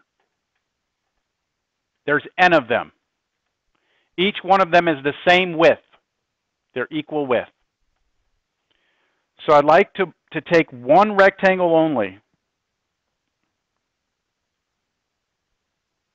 Right there. I'd like to take this rectangle over here to the side. I'd like to talk about it. How wide is this rectangle? What's its width?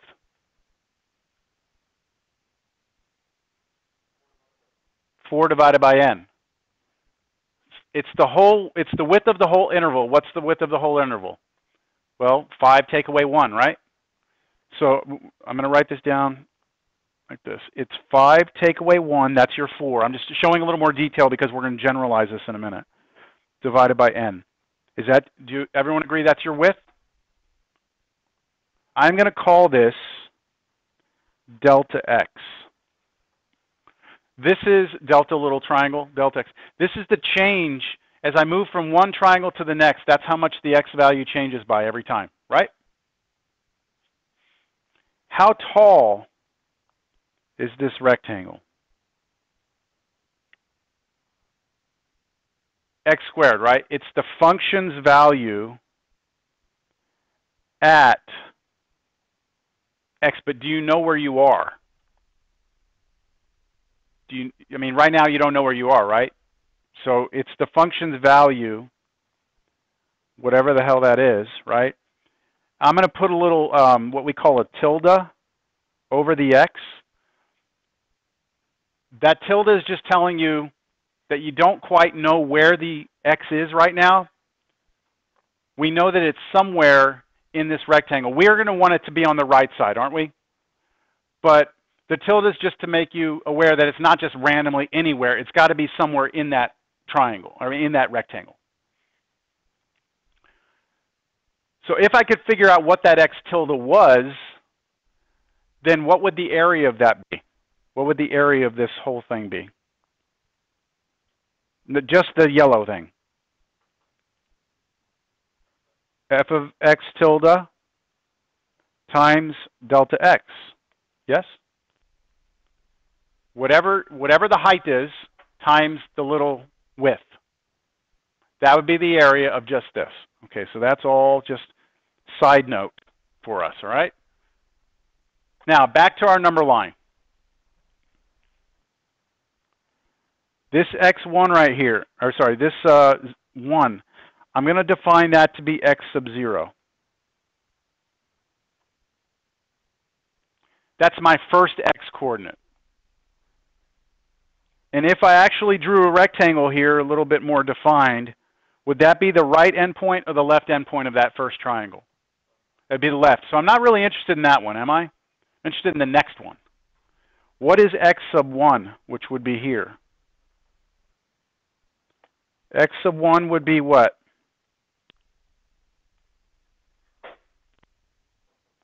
One plus delta x, exactly. It's one plus whatever that changes, right? That changes 4 over n. But I'm just going to write as 1 over delta x. What would x sub 2 be? That would be the next, the next uh, bottom corner of the next rectangle. What would that be? You could look at it two ways. It's either x1 plus delta x, right? The one before it plus delta, or it could be the 1 plus 2 delta x's. Do y'all see that what we're doing is we're starting here at 1. I'm going to blow that up. Here's 1. We're starting here and to jump we're jumping to the next one by adding delta x. To jump to the next one, we have to add another delta x. So you could say that this second right endpoint was just 1 plus 2 of those. And the next one would be what? 1 plus 3 of those?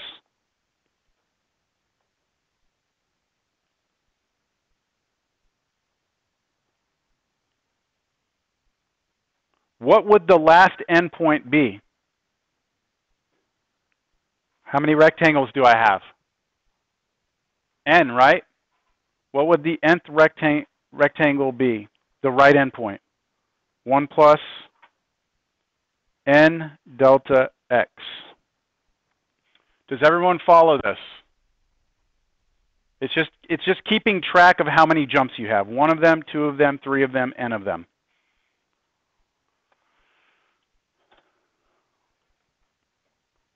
Now remember over here where we had tilde? We said tilde was some x value in that rectangle. And I said we were going to want it to be the right endpoint. Aren't these, starting at 1, aren't these all the right endpoints? Not 0, 0 is a left endpoint. But x sub 1 would be the right endpoint of the first rectangle. x sub 2 would be the right endpoint of the second rectangle. x sub 3 would be the right endpoint of the third rectangle, and so on and so forth. So I actually have a formula for this, and I can nail it down to the specific rectangle, can't I? Okay, so let's see if we can put this all together. We're, we're getting close. Do you agree with this? The area of the kth rectangle is f of 1 plus k times delta x times delta x.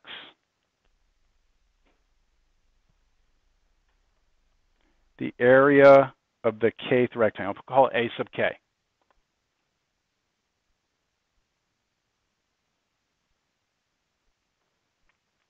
So you're going to start at 1, you're going to move to the right, k delta x's. That'll take you to the right endpoint of the k rectangle. Whatever that point is, you plug it into the function. So we wind up plugging this into the function, which you'll just square it, right? That'll give you your height. Your width will be delta x. That's the area of the kth one.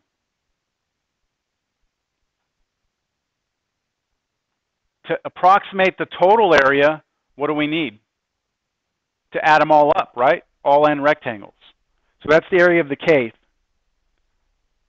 The area of all n rectangles is area equals sum k equals 1 to n, because I have n rectangles, of f of 1 plus k delta, uh, delta x times delta x.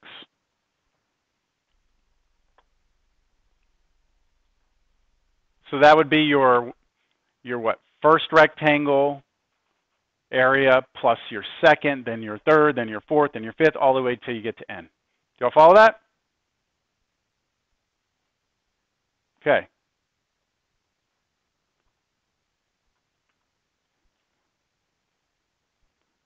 Let's go to the next page.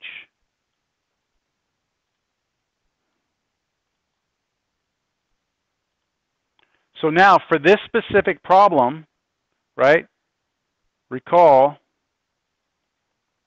f of x is x squared, right? That's what it is. That's the function that we're talking about here. And we are looking on the interval, what was it, 1, 5? The 1 was very valuable here, wasn't it? What did the 1 give us? Th that piece right there, right? That 1 came from here. And how is the delta x determined? We did that earlier also. Delta x was 5 minus 1 over n, wasn't it? So it looks like we can actually figure out for this problem what delta x is. It's going to be it's going to be 4 over n. So I can replace these with 4 over n. And then I can also take this entire expression and I can plug it in to this function. And that will give me the area of the n rectangles. So here it is. The area will be sum k equals 1 to n of f. I'll, I'll actually plug in in a second. I wanted to first plug in delta x.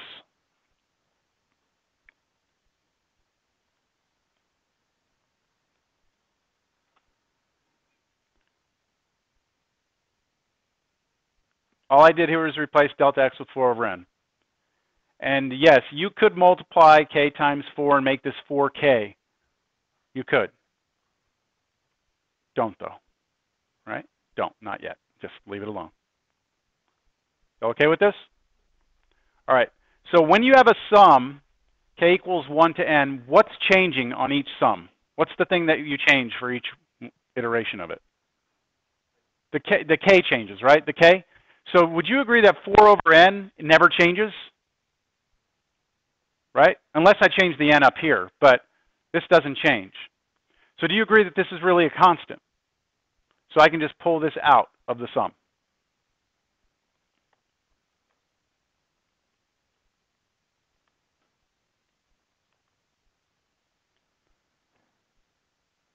Then I'm going to take this and I'm actually going to plug this into the function. What happens when you plug 1 plus k times 4 over n into the function? The function just squares it, doesn't it?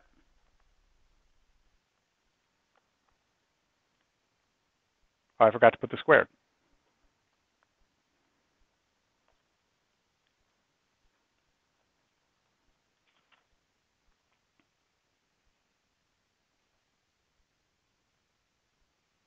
Questions on that? Because remember, the original problem was to, to estimate the area under x squared. So if I changed the problem and I said I made this x cubed, this would change this to x. This would be cubed. If this was sine x, then this would be sine of all this junk right here.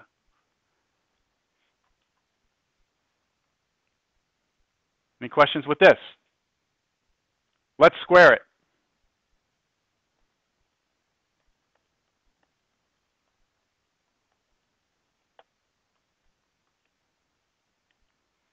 Tell me what you get when you square that. First term would be 1, right? And then plus, you'll have two of those pieces here, wouldn't you? So could I write that as k times 8 over n? You'll know what I'm doing, right?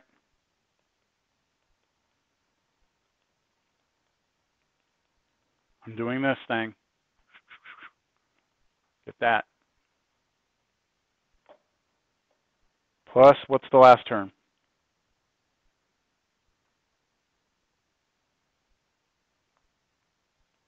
Euler.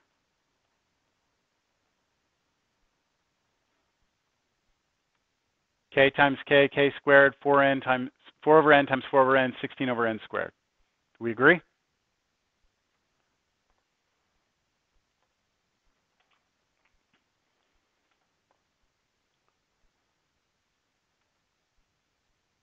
I have the sum of three different things, don't I? Sorry, one, two, three things. I have a sum of three things being added up. Can't I break this into three sums according to the property?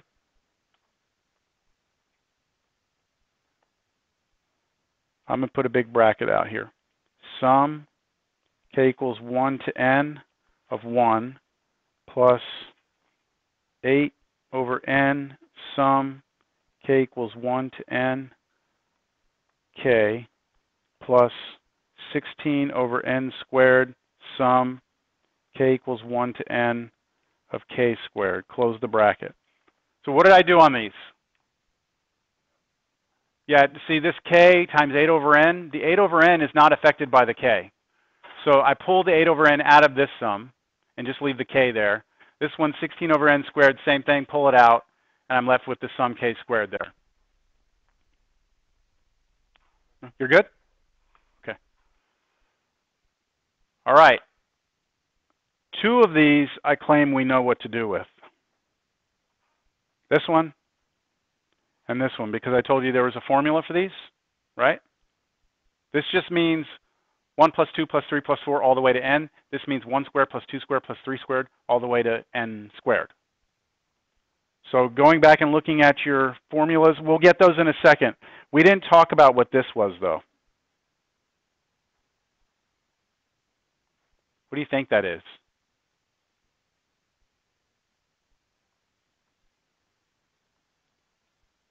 k equals 1 to n of 1. Doesn't that mean you start at k equals 1, right? Start at k equals 1, and you just put down what? 1. Plus, now you let k be 2, but that doesn't affect it. It's still 1 again. Plus, now you let k be 3, and you write down 1 again. And how many times do you do this? n times. So how many 1s do you have? n of them. So what's the answer? n. So the sum k equals 1 to n of 1 is just n. As long as k starts at 1, that's what happens. All right, so here we're almost there. 4 over n. Okay, this one right here, what did this turn into? n plus, this one is 8 over n times n times n plus 1 over 2. That was the formula. Plus 16 over n squared. And then what was this formula for k squared?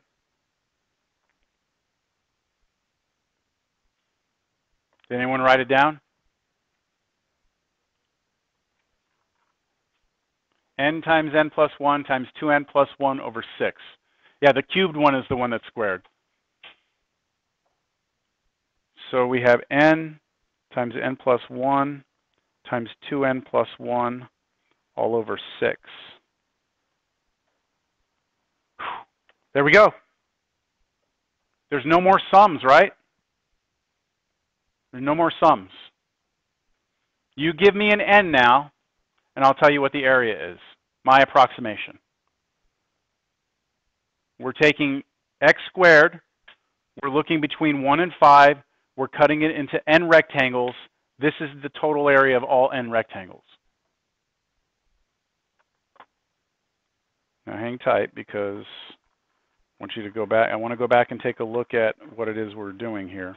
Here's x squared, right end point. We're looking between 1 and 5, right? And we did how many rectangles? N of them? Let's just try something. How about one, how about one rectangle? What should the answer be? 100. Let's just look at our formula. What would happen if we plug in 1? Shit. We would get what? 4 here. Let's see, 1. This would be 8. What would this be up here? 2. 2 over 2? 1. So we're at what? I forget where we are. Who cares? Um, what is this? 2 6, that's a 6. So that's a 1. 16, I believe. Did I lose something here? 16, 2, 8, and 1. Is that 16, 8, and 1? That's 25. All, if you plug 1 into this, believe that you get 25 here. And then what's 4 divided by 1? 4 4 times 25? 100. It matches what we got geometrically, right? But the beauty of this is this will work for any n. Right? If I want 100 rectangles, I plug 100 into this, and it gives me the estimated area. Understand?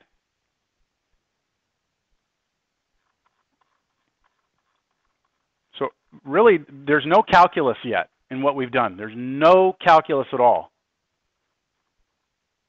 Here's the calculus. This is the finale right?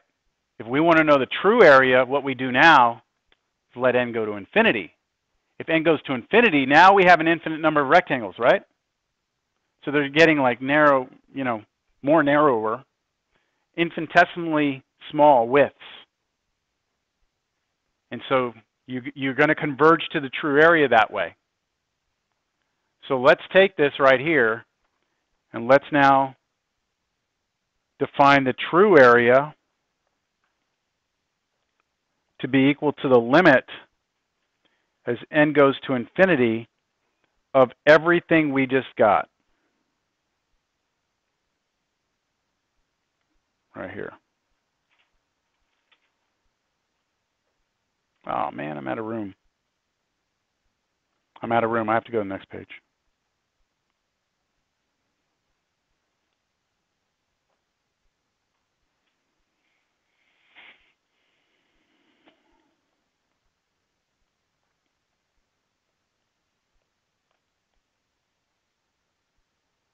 The area true will be equal to the limit as n goes to infinity of this.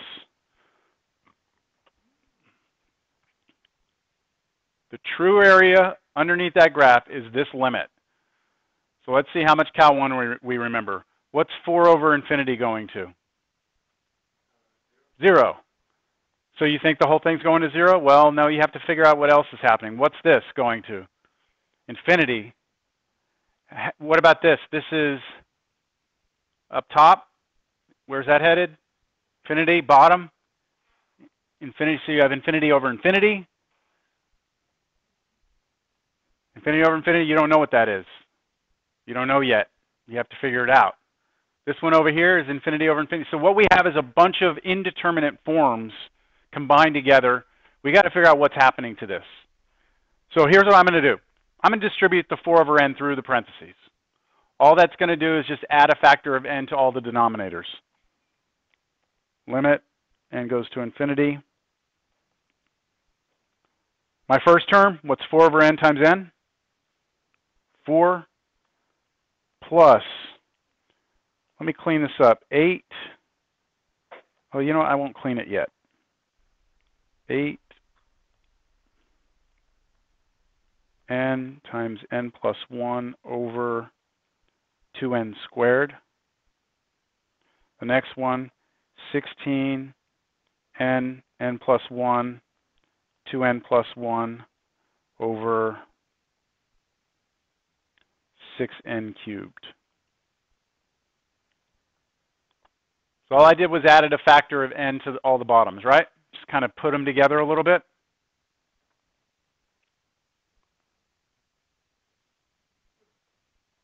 The next thing I'm going to do is actually distribute 8n through, 8n through. Did I not multiply? Oh, the 4, thank you. Well, it's still out here. I'm cheating. Oh. I'm cheating. I'm just, yes, thank you for catching that. Yeah, that 4 I didn't put through. Can I just leave it out there for now? I'm going to bring it through now because I forgot it. I did in the first one, but not the second one. Thank you. Yeah, oh, I see what you're saying. I forgot it on the last one. Is that what you were saying? And the second one. Shit. I only did it to the first one. So that was a 4. This one, 32. Thank you. This one, 64.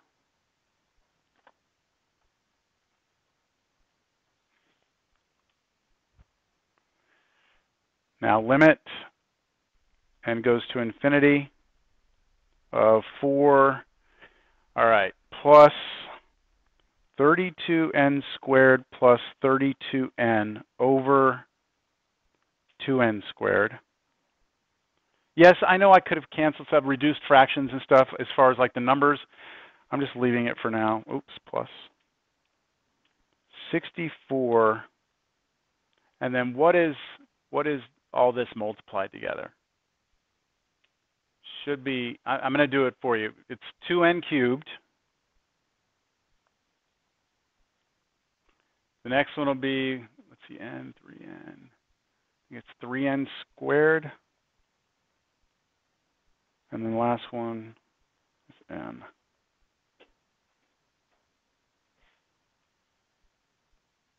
Does anyone know why I'm doing all this multiplying out? Why I'm doing all this? Is it just for fun or?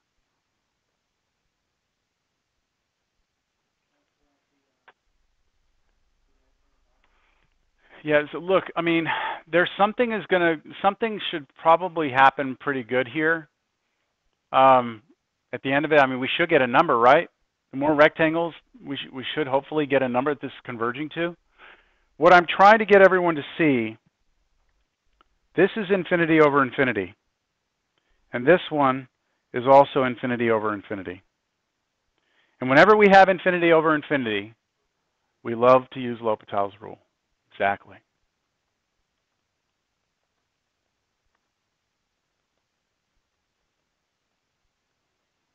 Okay, I don't have the clicker, so just show of hands. You have seen L'Hopital's rule before. Show of hands. Okay. If you're not raising your hands, you're in trouble.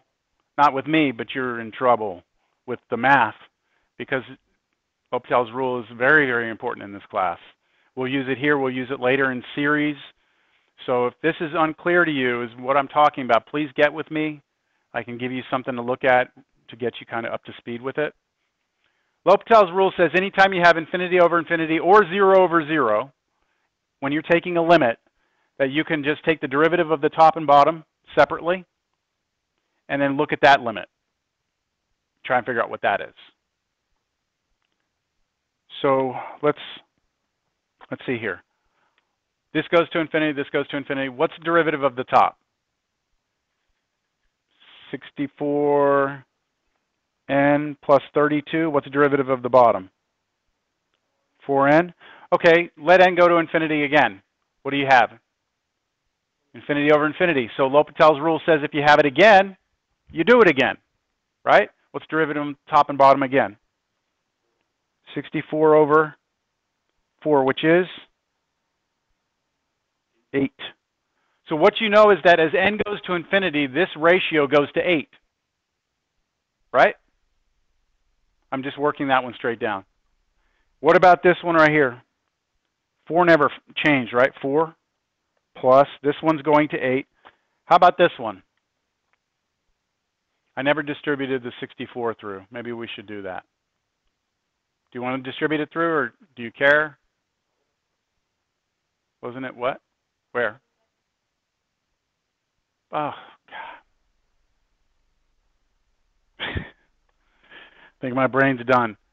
Yeah, no. 64 divided by 4 is not 8.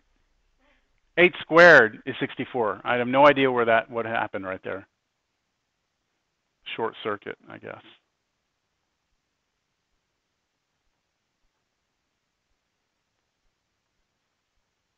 All right, here.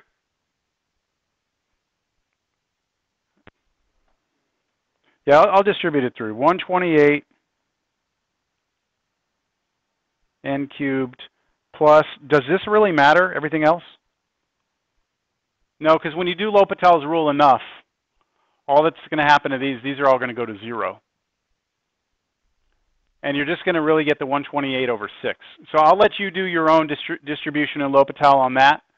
But you should get 128 over 6, which reduces, but let's see what this is.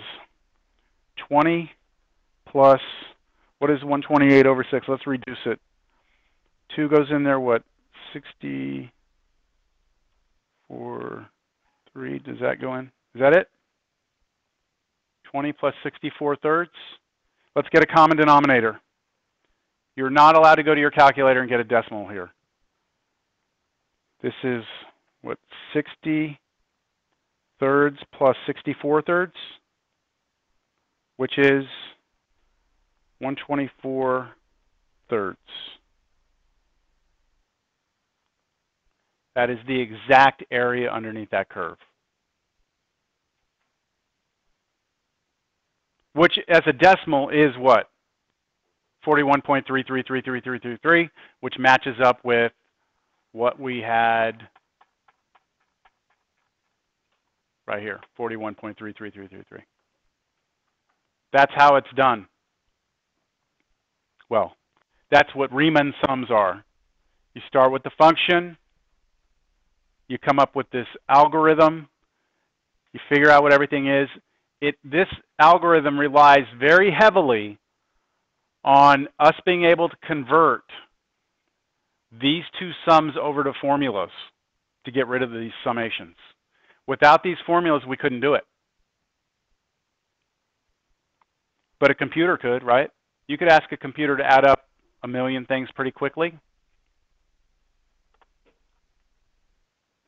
All right. So what's going on? Y'all seem way out of it. Is this just that dry? This material is just that dry or what? Or am I just getting picking up the wrong vibe here?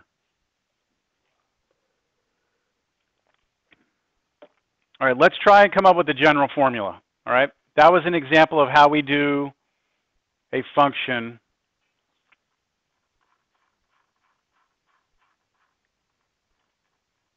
Where is it? Here we go.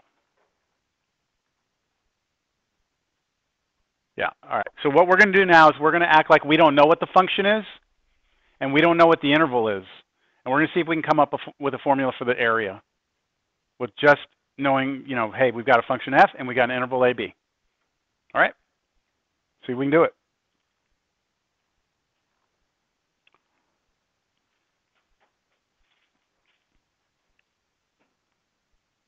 So for those of you who are still with me,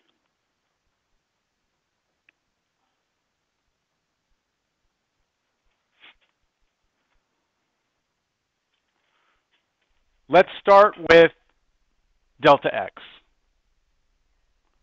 You're going to have n rectangles in here, right? A bunch of rectangles in here. Tell me how wide each rectangle is going to be.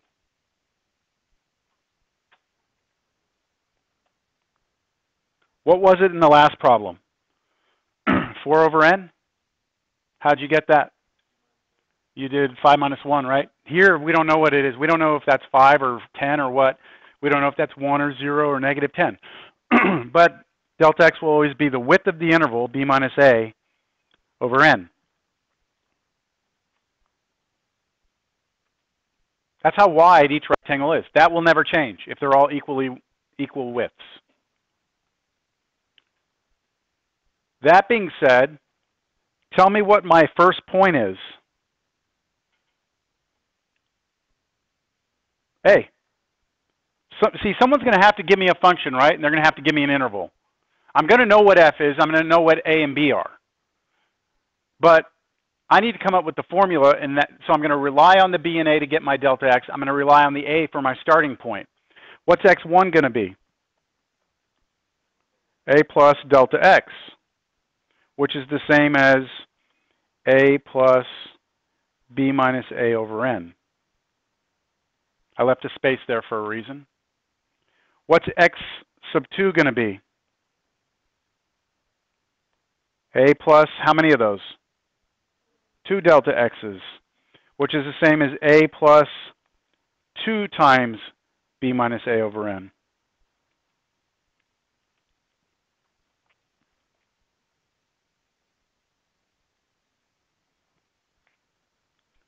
x sub 3, a plus, okay. Wonder if I should just start calling on people. That's like old school.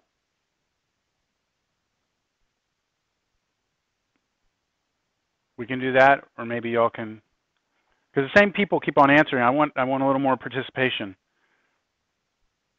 So anybody else want to tell me what's next?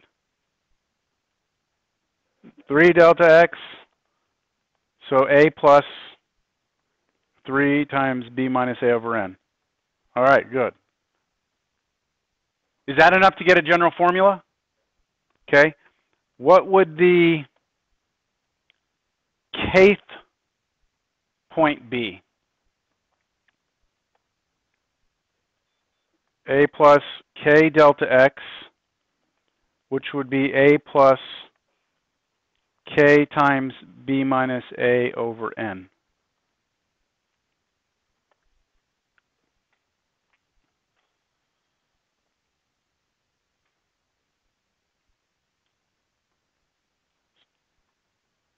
So let's take an arbitrary rectangle up here. What's its area? Just the area of that one, the area of the kth rectangle. What is it? F of, because we don't know what F is, right? F of, where are you? Left and right. You're, you're at the kth point, aren't you? So x sub k times, now the width, delta x. Agreed? Now let's write that in terms of uh, uh, more general.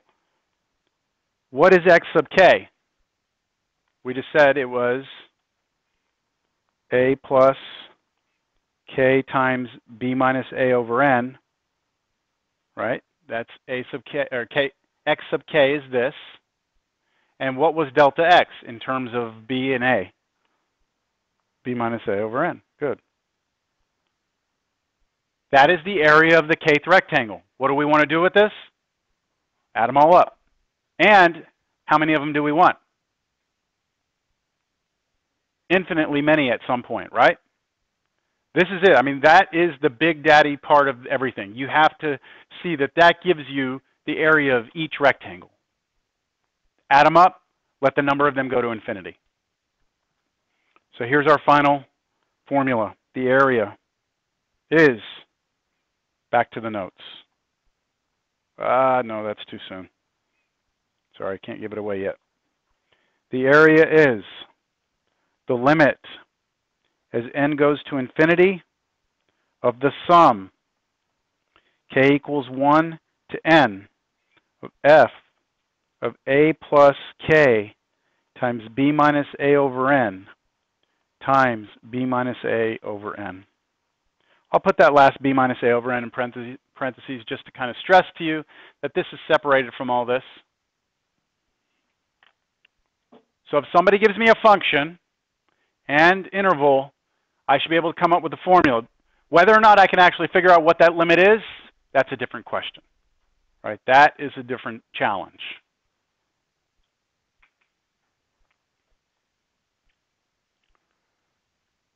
All right, I think we'll have a little more practice with using that formula, but but not now. I think it's time to reveal the the big point of all this, right? I mean, this was just to give you an appreciation for Riemann sums. The whole idea of the area comes from the idea of this summation. Do you remember what I told you about the uh, the integral symbol? Do you remember what I told you about it? It comes from a sum, right? but it's not just a sum, it's a special sum. So we have what's called this, the fundamental theorem of calculus. And the fundamental theorem of calculus actually connects the derivative and antiderivative together. And what we get is this, and I'm not going to prove the fundamental theorem of calculus. Some instructors do, I'm not going to. If you're a math major, you'll get plenty of chances to do that. I want you to take a look at this formula. Suppose f is a function defined on AB. That's what we just did, right? We just came up with a formula for the area underneath that. The definite integral of f from A to B, definite, now it's a definite integral instead of indefinite, is the number, so focus your attention on this right here. What is that? Limit n goes to infinity, right? That's what we just did. That's the area, right? Somehow that area is equal to this. This is just a notation, right? This right here is a notation for this limit. That's all it is. And you can kind of see where it comes from. The f of x comes from the height of the function, all right? That's where that comes from. And the dx comes from this, which we called what? delta x, but see, because there's an infinite number of them now, we're not calling it dx, we're calling it the differential, which is infinitesimally small, instead of, you know, 4 over n, which could be like 1 fifth or 1 tenth or something. It's an infinitesimal value. And then what we do is we tack on the a and the b, which represent the two endpoints. If this limit exists, because not every, not every function you can find the area under, Think about functions that have asymptotes, which we will do. Right? Those may not have a, an area that we can find that's finite. If the, if the limit exists, then we say the function is integrable. Integrable, that's a new word. Integrable on AB. So if the limit exists here, we say the function is integral on that closed interval. Now, the evaluation theorem, which is the fundamental theorem of calculus I was just referring to, says this that if you want to know what that limit is, the one we just did by hand, right? If you want to know what it is, all you have to do is find capital F of x. What's capital F of x? The antiderivative, right?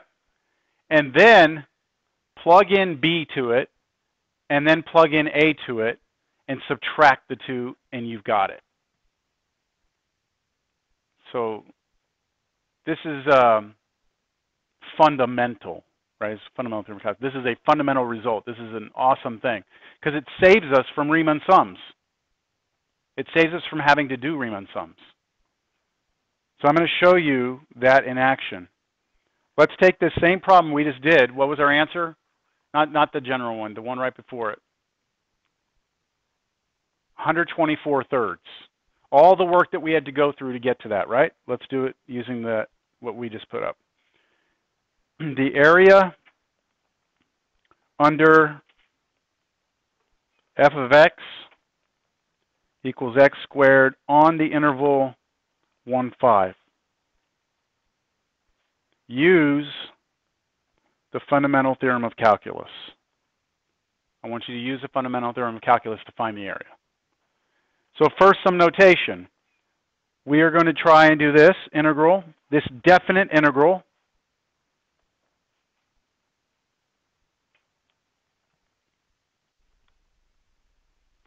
So the integral of x squared dx, that's something we've dealt with in the past. The fact that we have a 1 and a 5 here now changes things. This means this, is, this answer is a number, not a, not a function. So what we do first in the fundamental theorem of calculus is we find the antiderivative. What is the antiderivative of x squared?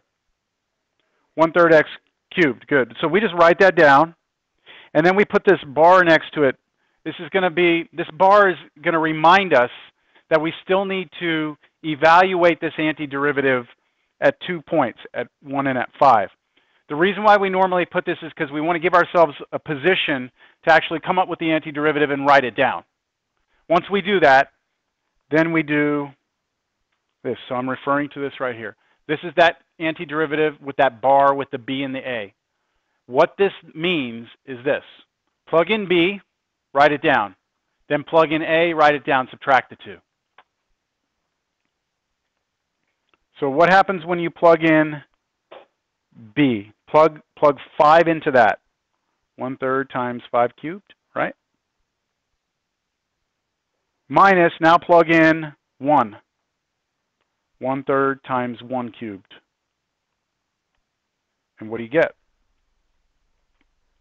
125 thirds minus 1 third, which is 124 thirds.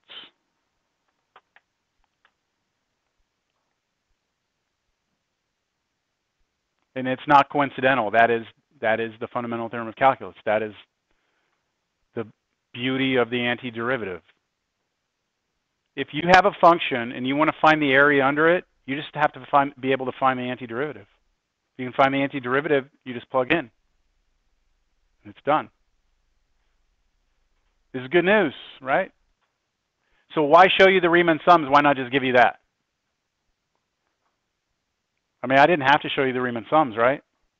And all the formula and stuff. Didn't have to. I could have just handed that to you. But here, there's a reason why. It's where we're headed. We're going to be trying to come up with formulas for things other than areas. We're going to be taking something like, I'll do it up here. We're going to be taking something like, all right, take, uh, take a semicircle, that, or a quarter of a circle, okay? We could find the area under that, right? Couldn't we? Now, we could, if we could somehow find the function that draws that red curve find its antiderivative, we could find the area. But what we're going to do is we're going to take that, we're going to wrap it around the x-axis. So imagine taking that curve and wrapping it around the x-axis. And it would create this, this shape, right? As it went around the x-axis. The x-axis is going through here, through the center, coming out the other side like that. Do y'all see it? And that shape has a volume to it and we want to know what the volume of that shape is. To do that, we're going to talk about what happens to little slivers, little slices. Remember that rectangle that we found the formula for? We're going to take that slice and we're going to see what does that slice look like over here. What does it look like, by the way? If I wrap that around, doesn't it look like a little a little disky looking thing like that? Do you know the volume of a disk? pi r squared times height. So if you can come up with a formula for this, then that represents just one little sliver in here, right? then I want to add up all the slivers, right? Adding up the slivers means the sum. All of them, infinite sum, infinite sum integral. See, so I'm trying to get you to see with the Riemann sums that it's not just about showing you and then saying, oh, and here's the fundamental theorem of calculus. Ha ha ha. We didn't have to do all that crap.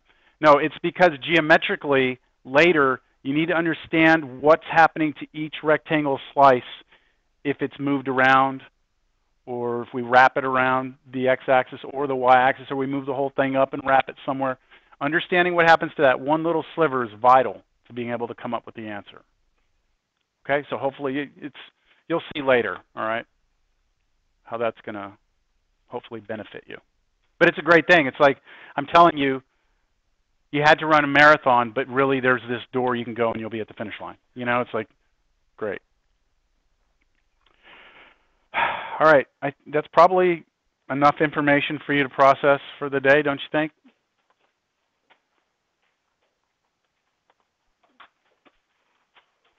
I've put my old test up there a few times for you to look at. I'm going to just scroll through it again. You're free to go. But I don't feel like posting this test. Like I don't feel like putting it out there in an electric format. So I'll force you to have to go back and watch the video if you want to see it. There was number one. Two, three, four, five, six, seven, eight, nine. There. Good? Two, we did that one, three, four. If you watch any of these videos on YouTube, um, keep in mind that you, you got to let it run for like at least a minute before it'll catch up and like get real clear. If you just watch like the first minute, usually it's kind of blurry, but once it like buffers, it gets like really, really clear. Um, Anything else? Do y'all have any questions for me? Uh, yes.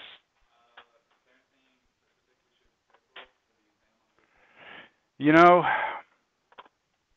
I, I don't like to uh, narrow your focus. Like, I don't want you to think that those eight problems are the only ones you should worry about, you know? Am I making sense? Homework, review your homework. You, You've been keeping up with that, hopefully. Um, problems that were done in class and the exam problems I just showed you. I mean, th that's really it. If you if you can get through most of the homework problems and the problems that I demonstrated in class and the exam problems I had up here, I think you're in good shape. Time is going to be the most critical factor. Time. Because that problem I gave you, that you all turned in, how long did that take you? You know, 10, 15 minutes, maybe more. If that's just one part of one problem, imagine that'll be that'll be the pressure behind you the whole time is that clock running. Can you get through all these problems in time? So, any other questions? Oh yeah, good. So what am I going to give you? I'll give you the trig sub formula. Um, what do y'all think about the partial fractions? Y'all okay with that? What I'll do on partial fractions is this. If you need that strategies for partial fractions, if you need that, then I'll let you use it. But if you don't use it, you get, if you don't use any formula sheets except for the ones you can print off on the website, right? So if you don't use partial fractions and you don't use the trig sub, you don't use any formulas, you get a five-point bonus on the test, automatic to start. If you require formulas, then you can use the trig sub ones and the partial fractions. Should I provide them for you, or are you going to provide them yourself? Provide them yourself? Okay. So provide them yourself. Don't write on them, though. Don't have all these other ancillary notes on them. Don't know where to get them? Okay. Calculators, you can use a calculator. I, as long as you don't have stuff stored in there that you're cheating, you can use it. If it's asking you to find the antiderivative, if, if you're being asked to find the antiderivative, which the whole test is, you can't just TI-89 it and get the answer and be like, but it's the right answer. I mean, I have to, I have to see the technique. I have to, it has to be clear how you did it. It can't be just like so messed up and, and, and like messy that I'm confused, but the answer's there, you know, because the TI-89 gave you the answer. Yeah, but you can check your answer. That's a good thing. You got to be careful with that sometimes, though, because sometimes the answer on the calculator is right and yours is right. They don't look the same. So, all right.